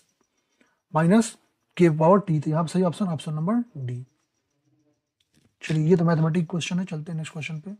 सॉल्यूशन ऐसे इसका हमने दे रखा है ठीक है चलेंगे नेक्स्ट क्वेश्चन पे करें thickening of sludge occurs by type dot settling ठीक है अच्छा स्लज की जो थिकनिंग है आपको कह रहे किस टाइप की सेटलिंग में आती है ठीक है तो आपको जब हम स्लज की थिकनिंग की बात करते हैं ना ठीक है तो ये आपके जो है फोर सेटलिंग में आती है कितने आती है फोर्थ स्टेज की सेटलिंग में आती है सही ऑप्शन तो होगा option number B which of the following is not a natural hazard करा इनमें से कौन सा नेचुरल हैजार्ड नहीं है सुनामी वर्कोनिक्स क्लाइमेट एक्सचेंज और अर्थक्वेक ठीक है तो आपका flood earthquake tsunami cyclone volcanoes ये सारे जो है नेचुरल क्लाइमेट ठीक है आते हैं ये नेचुरल हजार्ड है बट क्लाइमेट चेंज जो है वो ह्यूमन फिनोमिना कारण जो टेम्परेचर राइज वगैरह हो रहा है उसके कारण होता है सही option option number C as per biomedical waste handling rules 2016 installation of in house incinerator is allowed with the permission from state pollution control board only when कह रहा है कि आपका बायोमेडिकल वेस्ट रूल जो है 2016 उसके द्वारा जो इंस्टॉलेशन आप यदि अपने इन हाउस इंसिनेटर्स का करना चाहते हैं तो किस कंडीशन में आपको state pollution control board allow करेगी the only when the the biomedical waste generation is high okay there is no bio common biomedical facility near by the users biomedical facility in large number the available biomedical facility is actually जब आपका जो है हम biomedical waste handling rule 2016 की बात करते हैं तो जो आपका इंस्टॉलेशन है हाउस इंसिनेटर्स का वो अलाउ तब करते हैं जब आपके कोई नियर अबाउट में फैसिलिटी अवेलेबल नहीं है इंसिनेटर की कॉमन बायोमेडिकल फैसिलिटी अवेलेबल नहीं है तब अलाउ करते हैं तो option number B is correct चलेंगे नेक्स्ट क्वेश्चन पे कर रहे हैं which city has the largest waste dump in India in terms of area ठीक है किस सिटी के पास largest waste dump in term of area India में ठीक है तो आपका जो मुंबई है ठीक है मुंबई जो महाराष्ट्र है उसका एक जगह है देवनर ठीक है ये डंप देवनर डंपिंग ग्राउंड ये सबसे बड़ा आपका लार्जेस्ट वेस्ट डंप एरिया है ठीक है सही option option number A next question कह रहा है mixing requirement in aeration tank should be in the range of ठीक है आपका मिक्सिंग आपका कह रहा है रिक्वायरमेंट एरेसन टैंक में कितने रेंज में होनी चाहिए ठीक है तो ये आपकी रेंज जो होती है मिक्सिंग की वो आपकी five to ten watt per metre cube होनी चाहिए कितनी फाइव टू टेन ठीक है of the tank of volume तो लगभग पांच से दस मीटर क्यूब इतना होना चाहिए तो ये ऑप्शन क्या मिल जाएगा ऑप्शन नंबर सी चले नेक्स्ट क्वेश्चन पे कर a rectangular channel with W and depth D connect the cascade aerator and flash mixer in a conventional water treatment plant being open channel flow is calculated using the Manning's formula. Okay, how is R calculated? अच्छा Manning formula में R ko kaise calculate karna यही puch raha hai to यदि हम rectangular channel की बात करते हैं तो क्रॉस सेक्शन एरिया ए कितना हो जाएगा बी डी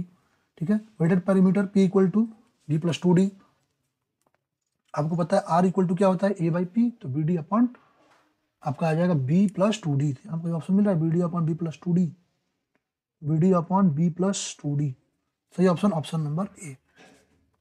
चलते नेक्स्ट क्वेश्चन पे करेक्ट डॉक करेक्ट को processing of municipal solid waste fraction which is non biodegradable non recyclable is suitably done if the coloformic, the calorific value of the waste is. Correct municipal solid waste का जो है cooperation कब करते हैं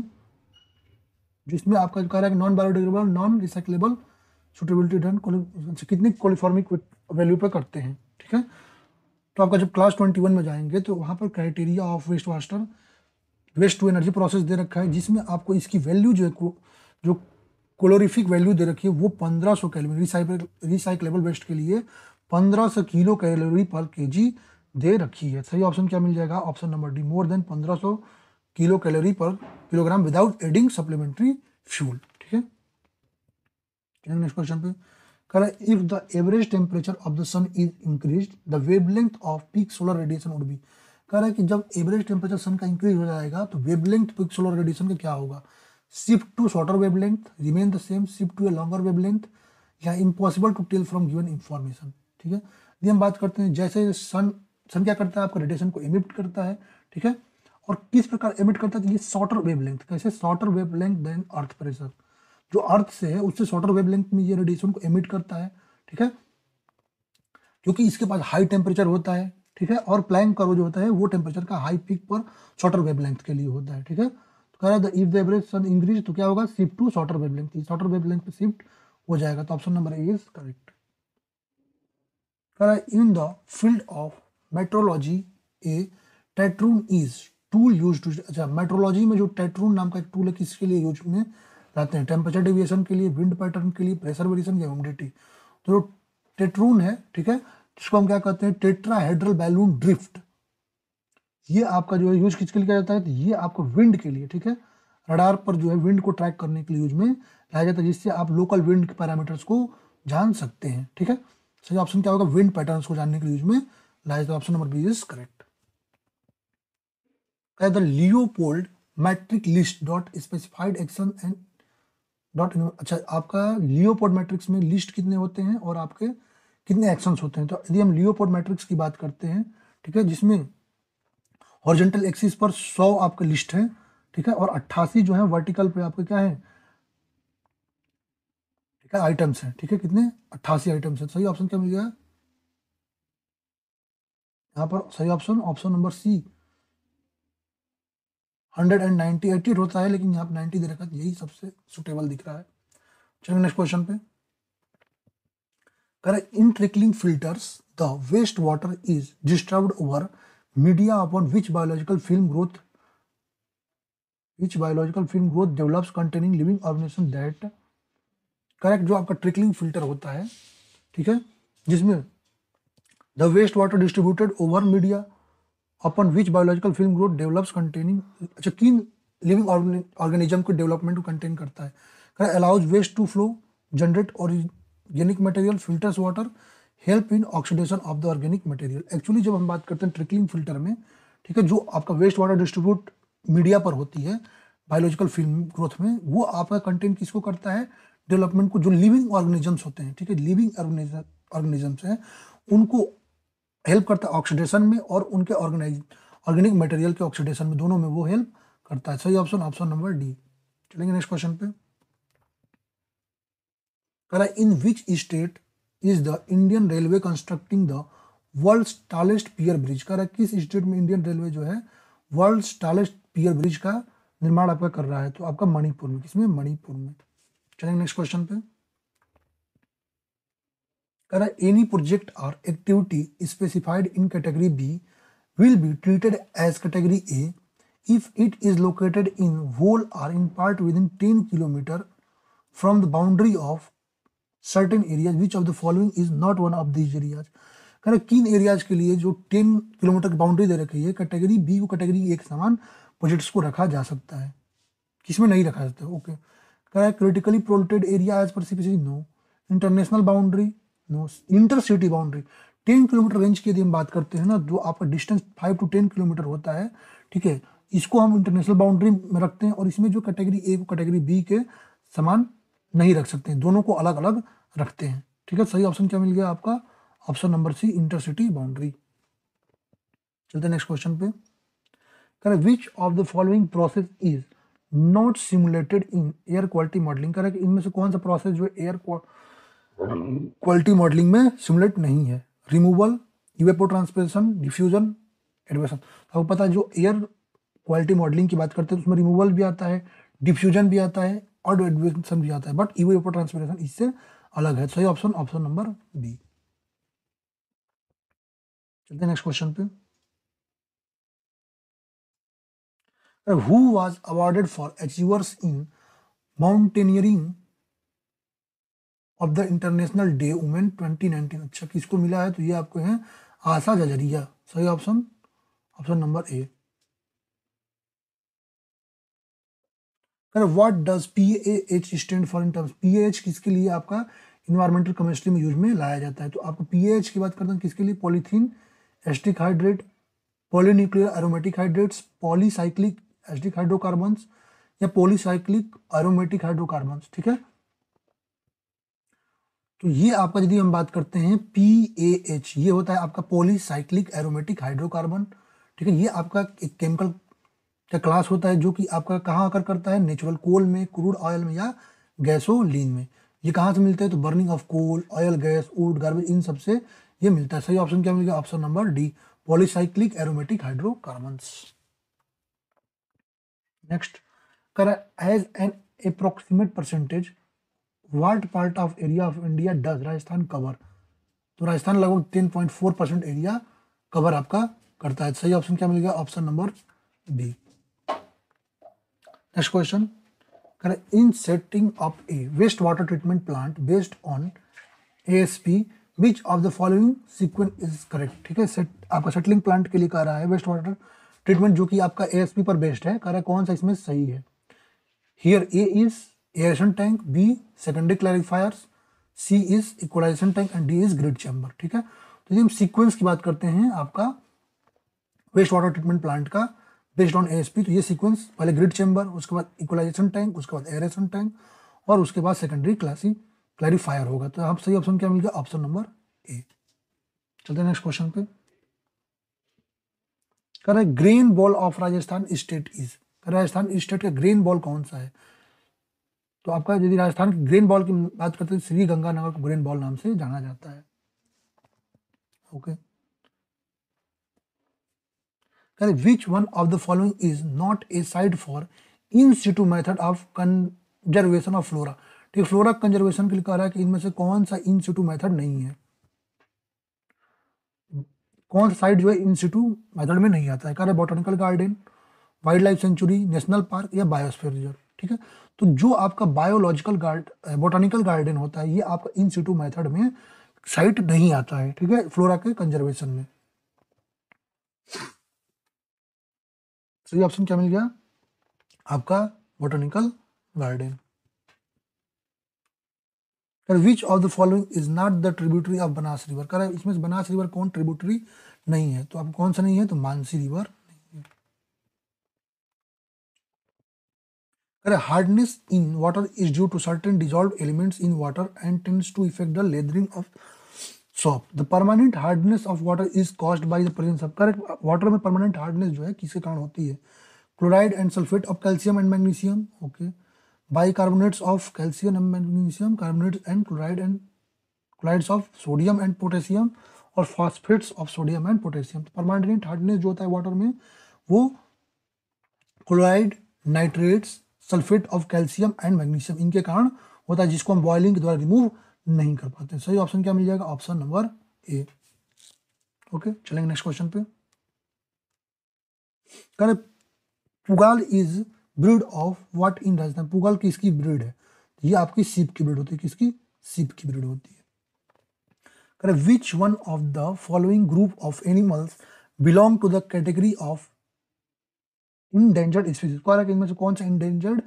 species category में animals category आएगी Kashmiri stag chital blue bull and great Indian bustard snow leopard swamp deer rhesus monkey and sarus lion tailed macaque blue bull Hanuman langur and chital great Indian bustard musk deer red panda और Asiatic wild ये सारे आते हैं सही option option number D correct which one of the following is not correct correct इनमें से कौन सा करेक्ट नहीं है ठीक है कर the presence of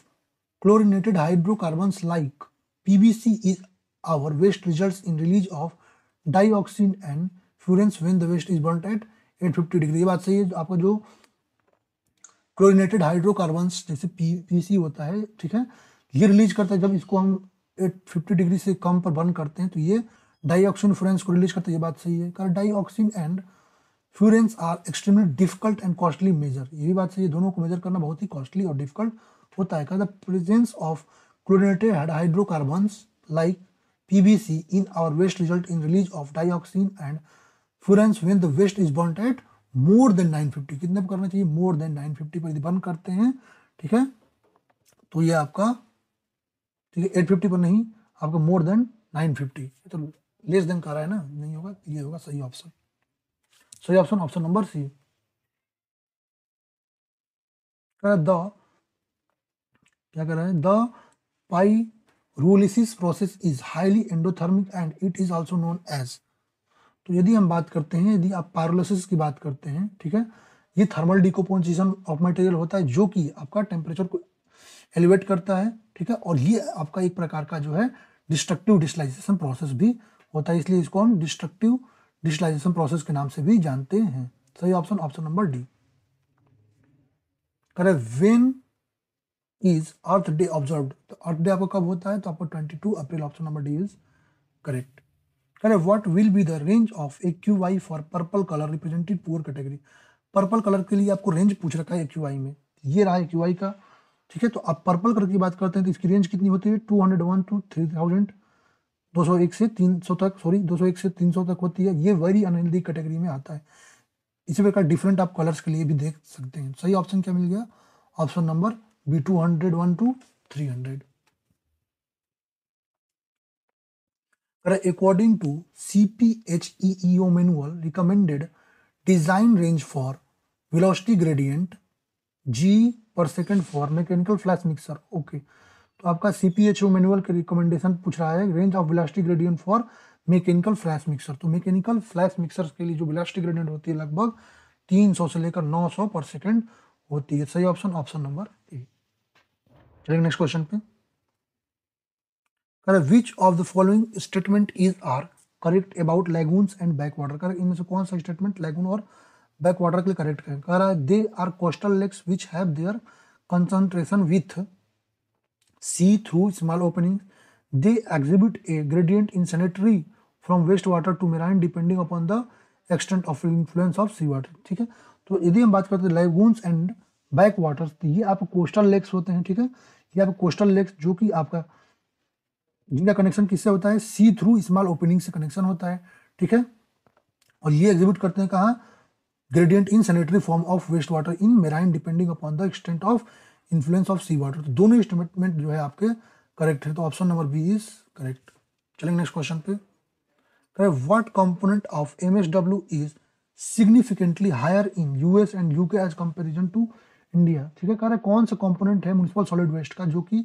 यूएस और यूके में as compare to India higher है ठीक है तो जो पेपर का प्रोडक्शन किसका म्यूनसिपल वेस्ट में यदि हम पेपर के प्रोडक्शन की बात करते हैं तो वो इंडिया से यूके और यूएस दोनों में हायर होता है तो option number B is correct next question पे कर which of the following plume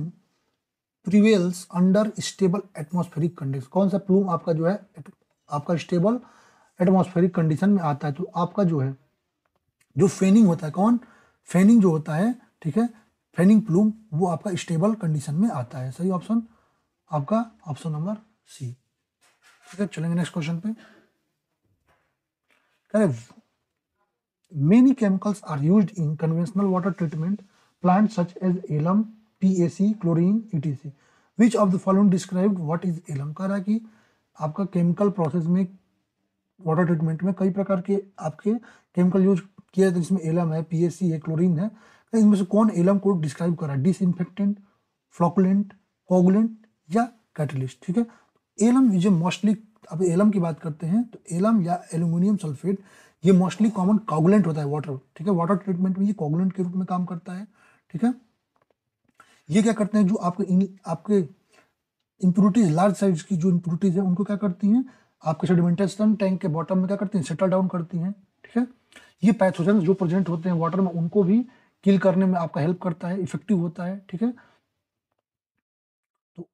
और इसे हम डिसइंफेक्शन भी कहते हैं तो किसमें आपका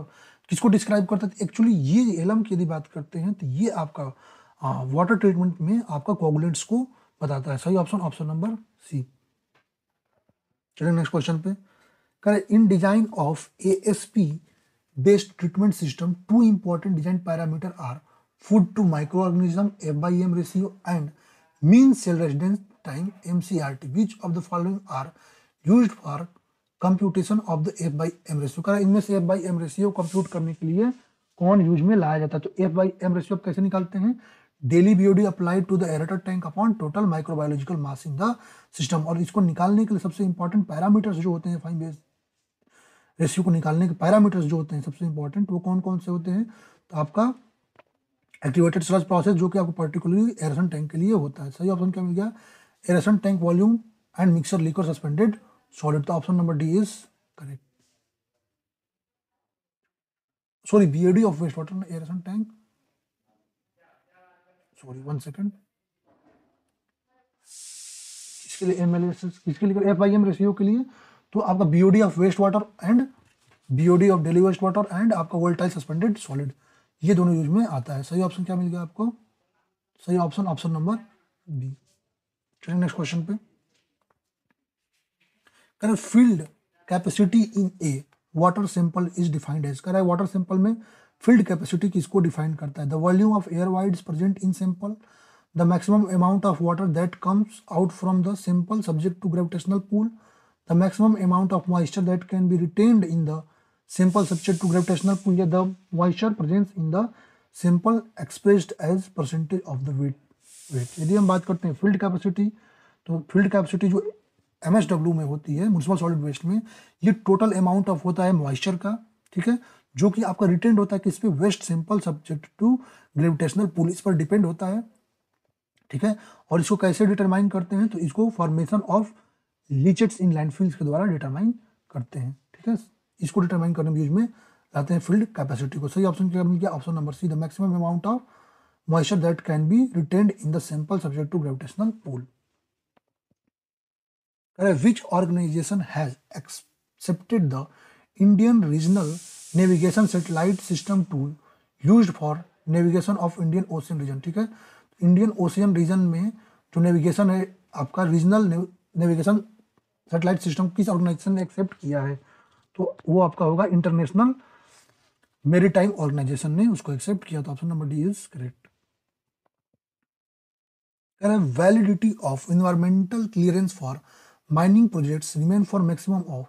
तो आपका जो इन्वायरमेंटल क्लियरेंस है माइनिंग प्रोजेक्ट्स के लिए वो मैक्सिमम कितने ईयर्स के लिए है तो आपके इन्वायरमेंटल क्लियरेंस की रिवर वैलीज के लिए टेन ईयर्स होता है माइनिंग के लिए थर्टी और अदर प्रोजेक्ट्स के लिए फाइव ईयर यहाँ पर इसके पूछ रखा है वैलिडिटी ऑफ फॉर माइनिंग तो माइनिंग के लिए कितना थर्टी ईयर्स सही ऑप्शन ऑप्शन नंबर बी चलिए नेक्स्ट क्वेश्चन पे correct which of the following technologies is based on cytomedicine process ठीक है साइटोमेडिसन प्रोसेस पे कौन सी टेक्नोलॉजी बेस्ड है ठीक है तो आपकी कौन कौन से constructed wetlands S B R S P और एरेटेड लैगून ठीक है ये प्रोसेस जो है यूज किया जाता है किसके लिए कंस्ट्रक्टेड वेस्टलैंड्स के लिए ठीक है और ये आपका एक लॉजिकल सोल्यूशन है आपकी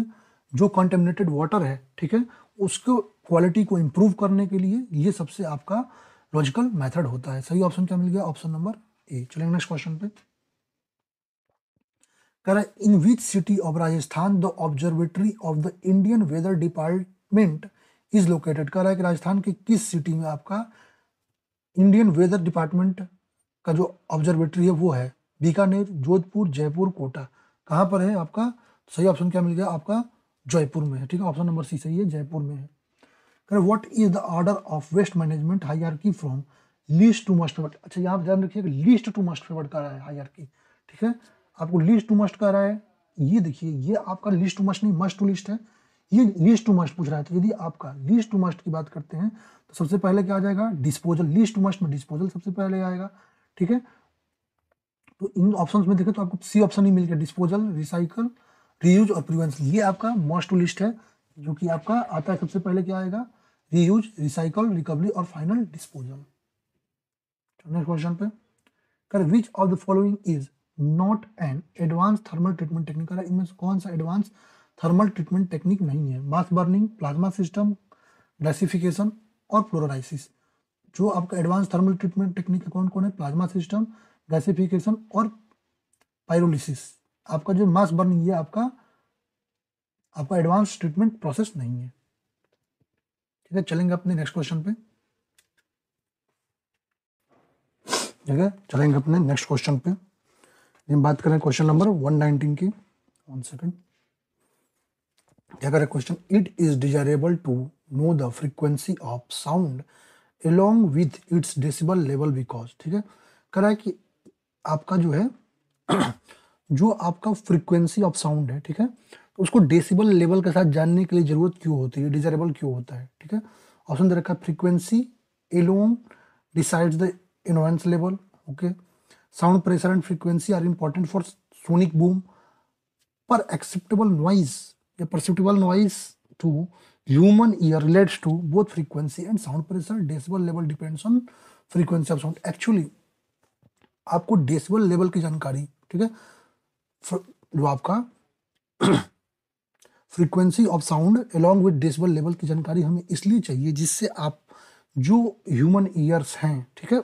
उस परसिप्टिबल नॉइज़ को रिलेट कर सकें तो उसके लिए हमको फ्रीक्वेंसी और साउंड प्रेशर दोनों की ज़रूरत होती है तो सही ऑप्शन क्या होगा ऑप्शन नंबर सी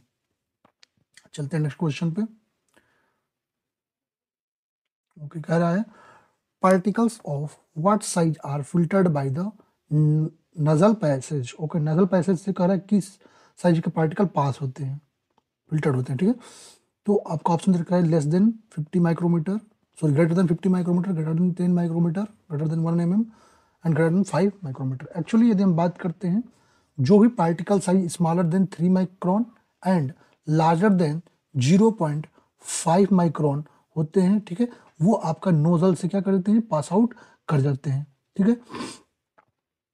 इसमें आपका जो है फिल्ट्रेशन पार्टिकल्स का सबसे स्मॉल साइज कितना है जीरो पॉइंट फाइव माइक्रोन ठीक है तो यहाँ पर सही ऑप्शन क्या होगा वन से लेस लेकिन यहाँ पर ग्रेटर देन वन देखा है ऑप्शन इसमें सही नहीं दे रखा है ठीक है यहाँ पर थोड़ी सी प्रॉब्लम इसके ऑप्शन में चलेंगे नेक्स्ट क्वेश्चन देख रहे हैं इसके ऑप्शन में गलत दे रखा है कुछ करें अच्छा proximate analysis of waste will give to information जो वेस्ट का अप्रोक्सीमेट एनालिसिस है वो आपको क्या देता है molecular composition of carbon hydrogen nitrogen oxygen phosphorus calorific value C by N ratio field capacity and metal content BOD COD pH and temperature moisture content volatile combustible matter fix carbon ash content actually यदि हम बात करते हैं approximate analysis की ठीक है ये analysis useful होता है फाइंड किसको करने के लिए heating value of municipal solid waste ठीक है ये आपको डिटरमाइन कौन सा करता है moisture content volatile matter ash content fixed carbon content of municipal solid waste इन सबको जो है डिटरमाइन करने में इसकी आवश्यकता होती है ठीक है इसमें चार टेस्ट इंक्लूडेड है पहला क्या है loss of moisture when heated दूसरा वोल्टाइल कमस्टाइल मैटर ठीक है फिक्स्ड कार्बन टेस्ट और एस टेस्ट ये चारों इसमें होते हैं तो यहाँ पर हमारा सही ऑप्शन क्या मिल गया option number D moisture content क्या क्या चाहिए आपको किसे चीज़ इन्फॉर्मेशन देता है moisture content volatile combustible matter fixed carbon और एस कंटेंट चलते नेक्स्ट क्वेश्चन पे कह द फाइव डे बीओडी कह the five day BOD five of a waste water sample is calculated as 100 milligram per liter what is the ultimate BOD at 20 degree celsius if k equal to 0.2 day पर ठीक है तो actually हम बात करते हैं तो जब बी ओ डी फाइव को निकालना है तो इसके लिए फॉर्मूला क्या होगा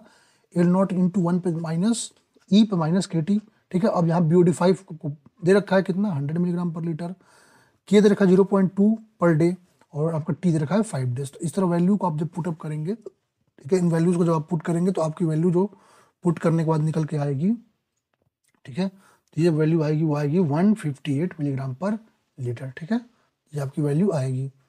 अब सही ऑप्शन क्या मिल जाता है आपका ऑप्शन नंबर डी चलेंगे नेक्स्ट क्वेश्चन पे कह which of the following gas varies significantly over time and place at atmospheric boundary atmospheric boundary level में इनमें से कौन सी गैसेस वो सिग्निफिकेंटली आपका ओवर टू टाइम वेरी करती है ठीक है तो जो आपका वेपर ठीक है वाटर वेपर जो होता है वो आपका टाइम और प्लेस के अकॉर्डिंग एटमोस्फेरिक बाउंड्री लेवल जो है ठीक है उसमें कॉन्टिन्यूस एक्शन ऑफ यूपोरेशन और कंडेंसेशन के कारण जो है वो आपका क्या करता है वेरी करने लगता है सही ऑप्शन क्या होगा यहाँ पर वाटर वेपर चलते नेक्स्ट क्वेश्चन पे कह green crackers have been introduced as a replacement of normal crackers कह which of the following is not true about this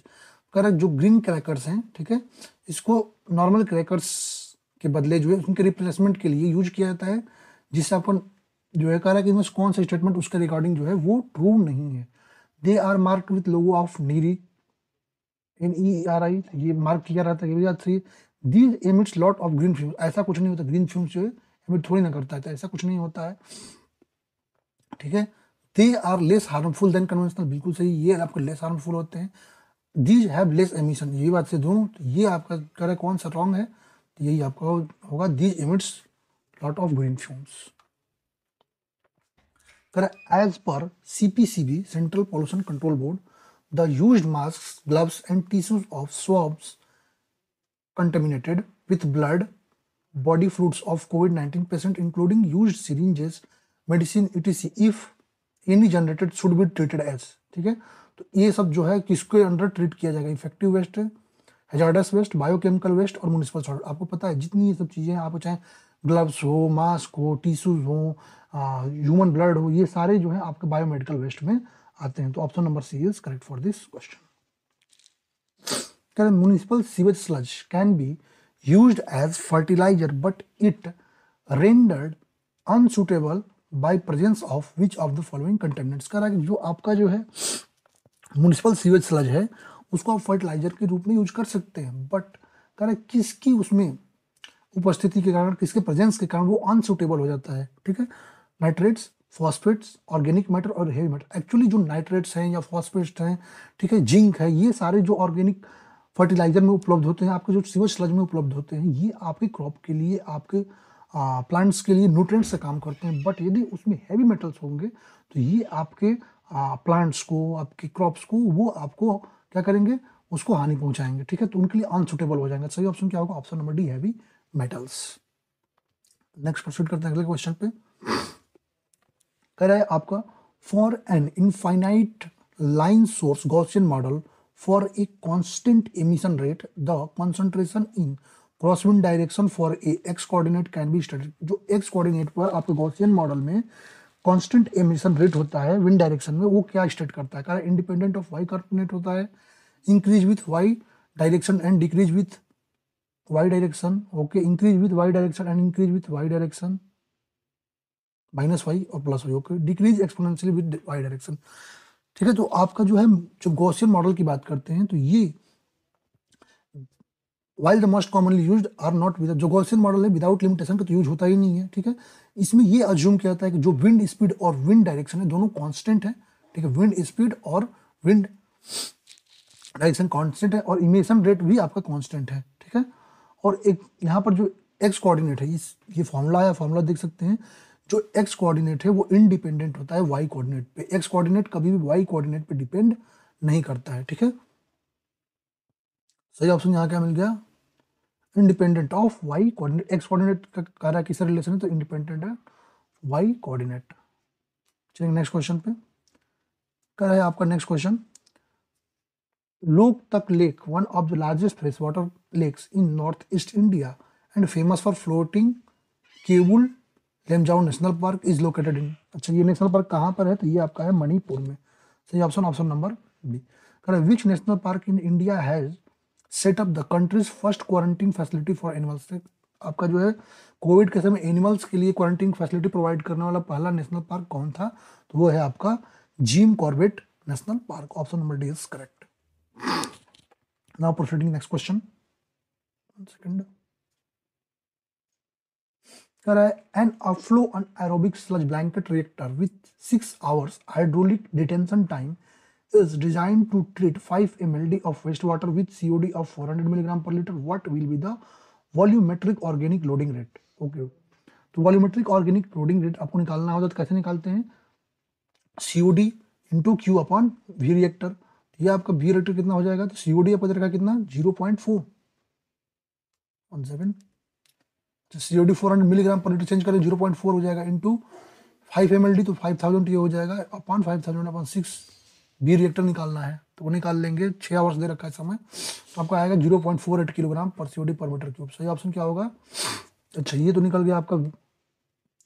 इसमें कोई ऑप्शन ही नहीं मिल रहा है इसका इसका तो कोई ऑप्शन नहीं मिल रहा है चलते हैं इस क्वेश्चन पर who is considered as the kul devi of Yaduvanshi dynasty of Karauli जो करौली की यदुवंशी डायनेस्टी कुल देवी कौन है वो है आपकी Kaliya Devi Kaila Devi sorry Kaila Devi option number C next question कर in which of the in which one among the following categories of protected area in India are local people not allowed to collect and use biomass कर इनमें से कौन सी ऐसी आपकी categories है protected area में जिसमें जो है लोकल पीपल जो है वो अलाउड नहीं है कलेक्ट करने के लिए आपके और यूज करने के लिए बायोमास के ठीक है जो नेशनल पार्क है ना ये आपको नेचुरल इन्वायरमेंट को प्रोटेक्ट करने के लिए होता है और यहाँ पर लोकल पीपल जो है वो अलाउड नहीं होते हैं बायोमास को यूज और कलेक्ट करने के लिए ठीक है सही ऑप्शन क्या होगा यहाँ पर सही option option number D national park BrahMos aerospace is joint venture company set up by Russia's Mashinostroyeniya and which other company तो ये एक रसिया कंपनी इसके साथ किस कंपनी के साथ जो है ब्रह्मोस एरोस्पेस का ज्वाइंट ऑपरेशन है तो ये आपका होगा option number D V L B H E L next चलते हैं कर as per C P H E O manual an acceptable value of the weir loading rate for primary clarified design consideration and average flow condition weir के लिए as per C P H E E O आपका पूछ रहा है average flow condition तो वो आपका average flow condition यदि वेयर के लिए बात करते हैं तो C P H E E O manual के अकॉर्डिंग जो होती है वो होती है one twenty five meter cube per meter per day ठीक है सही ऑप्शन क्या मिल जाएगा आपका ऑप्शन नंबर डी चलेंगे नेक्स्ट क्वेश्चन पे कह रहा है as per E I O notification two thousand six the validity of E C for environmental clearance for river valley project remains for अच्छा रिवर वैली का एक क्वेश्चन जो आया था वो आपका माइनिंग के लिए था यहाँ पर रिवर वैली के लिए तो रिवर आपका रिवर वैली कितने लेते हैं टेन ईयर्स आपका माइनिंग के लिए थर्टी ईयर्स और अदर प्रोजेक्ट्स के लिए फाइव ईयर्स लेते हैं सही ऑप्शन क्या हो जाएगा टेन ईयर्स तो option number B is correct चलेंगे नेक्स्ट क्वेश्चन पे कह expert appraisal committee E A C and state experimental appraisal committee S E A C are constituted by MOEF and CC for recommending the issue for EC environmental clearance for projects. Correct. Which category of projects are considered by EC for recommending issue for EC? ठीक है कौन सा ऐसा project है जो कि आपका expert एवरेजल committee जो है वो रिकमेंड करती है आपके इन्वायरमेंटल क्लियरेंस के लिए इनमें से ठीक है तो जो आपका एक्सपर्ट अप्रेजल कमेटी ई है और जो आपका state expert appraisal committee S है ये आपका किसके द्वारा कॉन्स्टिट्यूट किया गया तो ये M O E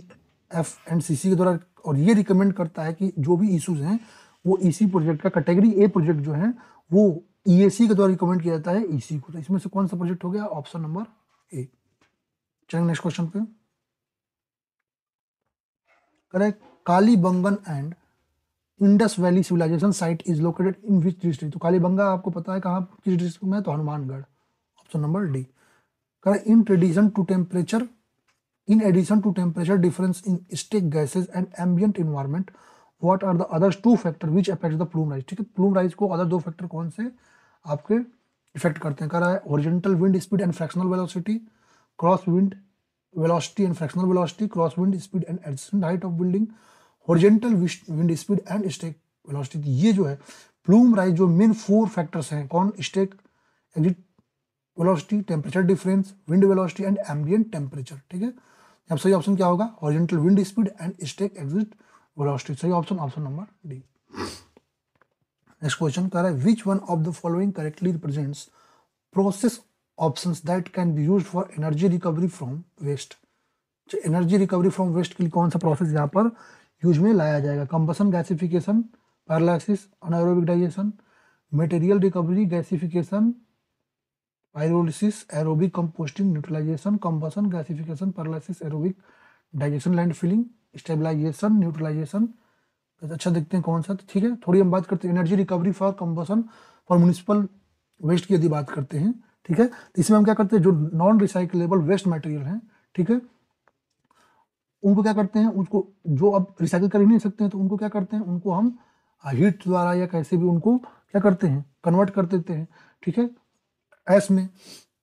अब इसमें advance thermal treatment combustion gasification pyrolysis ये सारे जो है लैंडफिल गैस रिकवरी में यूज होते हैं तो आपको सही ऑप्शन क्या मिल गया option number A combustion gasification pyrolysis anaerobic digestion the national green tribunal NGT hears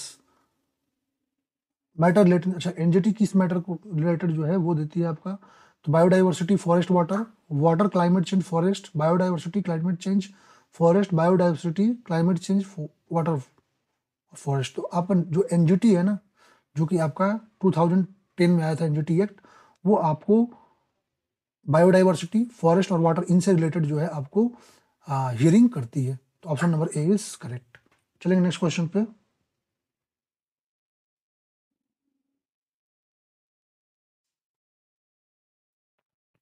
करें which of the following is not basic unit of S I system of unit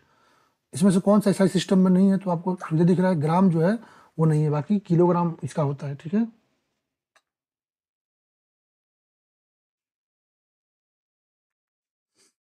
next question चलते हैं कह रहे which world has become world of the year अच्छा world of the Cambridge dictionary में कौन सा word जो है word of the year two twenty twenty मिला है तो वो आपका है quarantine option number D is correct कह Jaswant annual fair is conducted in which district of Rajasthan ठीक है जसवंत जो है एनुअल फेयर है किस राजस्थान के डिस्ट्रिक्ट में हुआ था तो वो हुआ है आपका भरतपुर ठीक है option number C which of the following scattering phenomena is responsible for blue colour of the sky ठीक है स्काई का जो ब्लू कलर होता है उसके लिए कौन सा स्केटरिंग का फिनोमिना जो है रिस्पॉन्सिबल होता है non selective scattering Mie scattering diffraction या रे लाइट स्केटरिंग एक्चुअली जो आपका ब्लू स्काई का जो है फिनोमिना होता है वो आपका scattering of sunlight of the molecule of the जो एटमोसफियर में सनलाइट के मॉलिक्यूल्स जो है ना उसके स्केटरिंग कारण होता है ठीक है इसको हम क्या कहते हैं इसको रायलिक कैटरिंग भी कहते हैं स्केटरिंग भी कहते हैं सही ऑप्शन क्या होगा option number D okay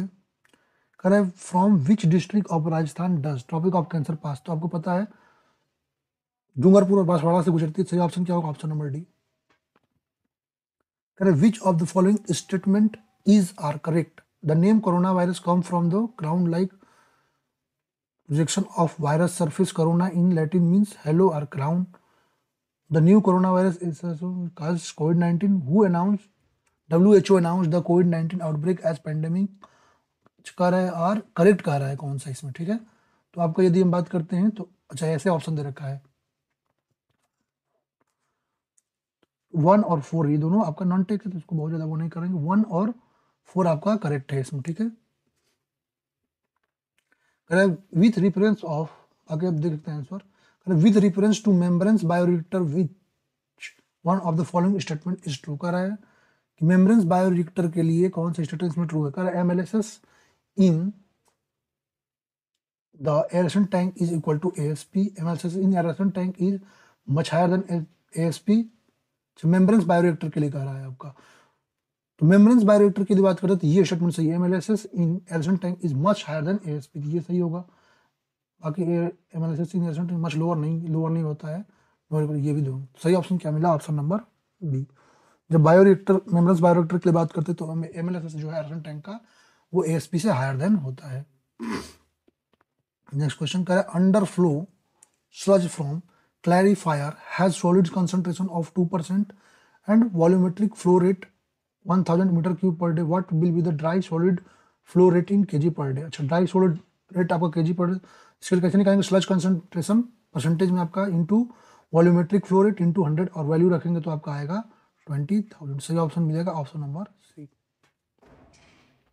next question चलते हैं which metal can be recovered from from phones to तो phone se aapka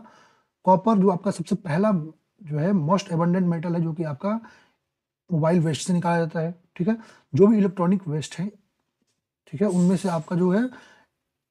जैसे टीवी लैपटॉप कंप्यूटर इनमें से आपका एलिमेंट्स जैसे आपका पैलेडियम कॉपर सिल्वर गोल्ड इन एलिमेंट्स को निकाला जाता है सही ऑप्शन रिकवर करने कौन सा है तो ऑप्शन नंबर एक copper silver gold palladium last question कह रहा है sun and earth both behaves a black body with black body temperature gives as 6000 Kelvin for sun and correspondingly for 1298 kelvin the ratio अच्छा wavelength की ratio पूछ रखा है ठीक है तो आप वेबलेंथ कैसे निकालेंगे बी बाई टी से निकाल लेंगे ठीक है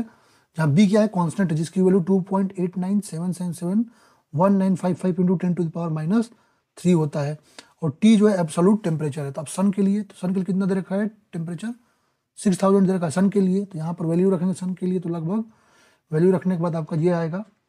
और उसी तरह आप अर्थ के लिए भी रखेंगे तो अर्थ के लिए कितना टेम्परेचर दे रखा है टू एट फिर इसी फार्मूला में अर्थ का रखेंगे तो ये आपकी वैल्यू दोनों की रेशियो निकाल देंगे zero point four nine six five seven nine two zero तो कोई ऑप्शन दिख रहा है ऑप्शन नंबर बी तो आपका ये पूरा पेपर हमने कंप्लीट कर लिया डेढ़ सौ क्वेश्चन सॉल्व कर लिए बाकी जो भी आपके डाउट हों आप लोग कमेंट कर सकते हैं ठीक है बाकी जिनको हमारा ई बुक चाहिए तो हमारे ऐप पर इसका लिंक मैं आपको डिस्क्रिप्शन बॉक्स में दे दूंगा तो ऐप पर जाकर हमारे ई बुक को बाई कर सकते हैं बाकी कोई भी डाउट हो आप लोग कमेंट कीजिए अब लास्ट एक पेपर बचा है वो भी आपका कल या परसों में वही पेपर आपको आ जाएगा ठीक है थैंक यू वन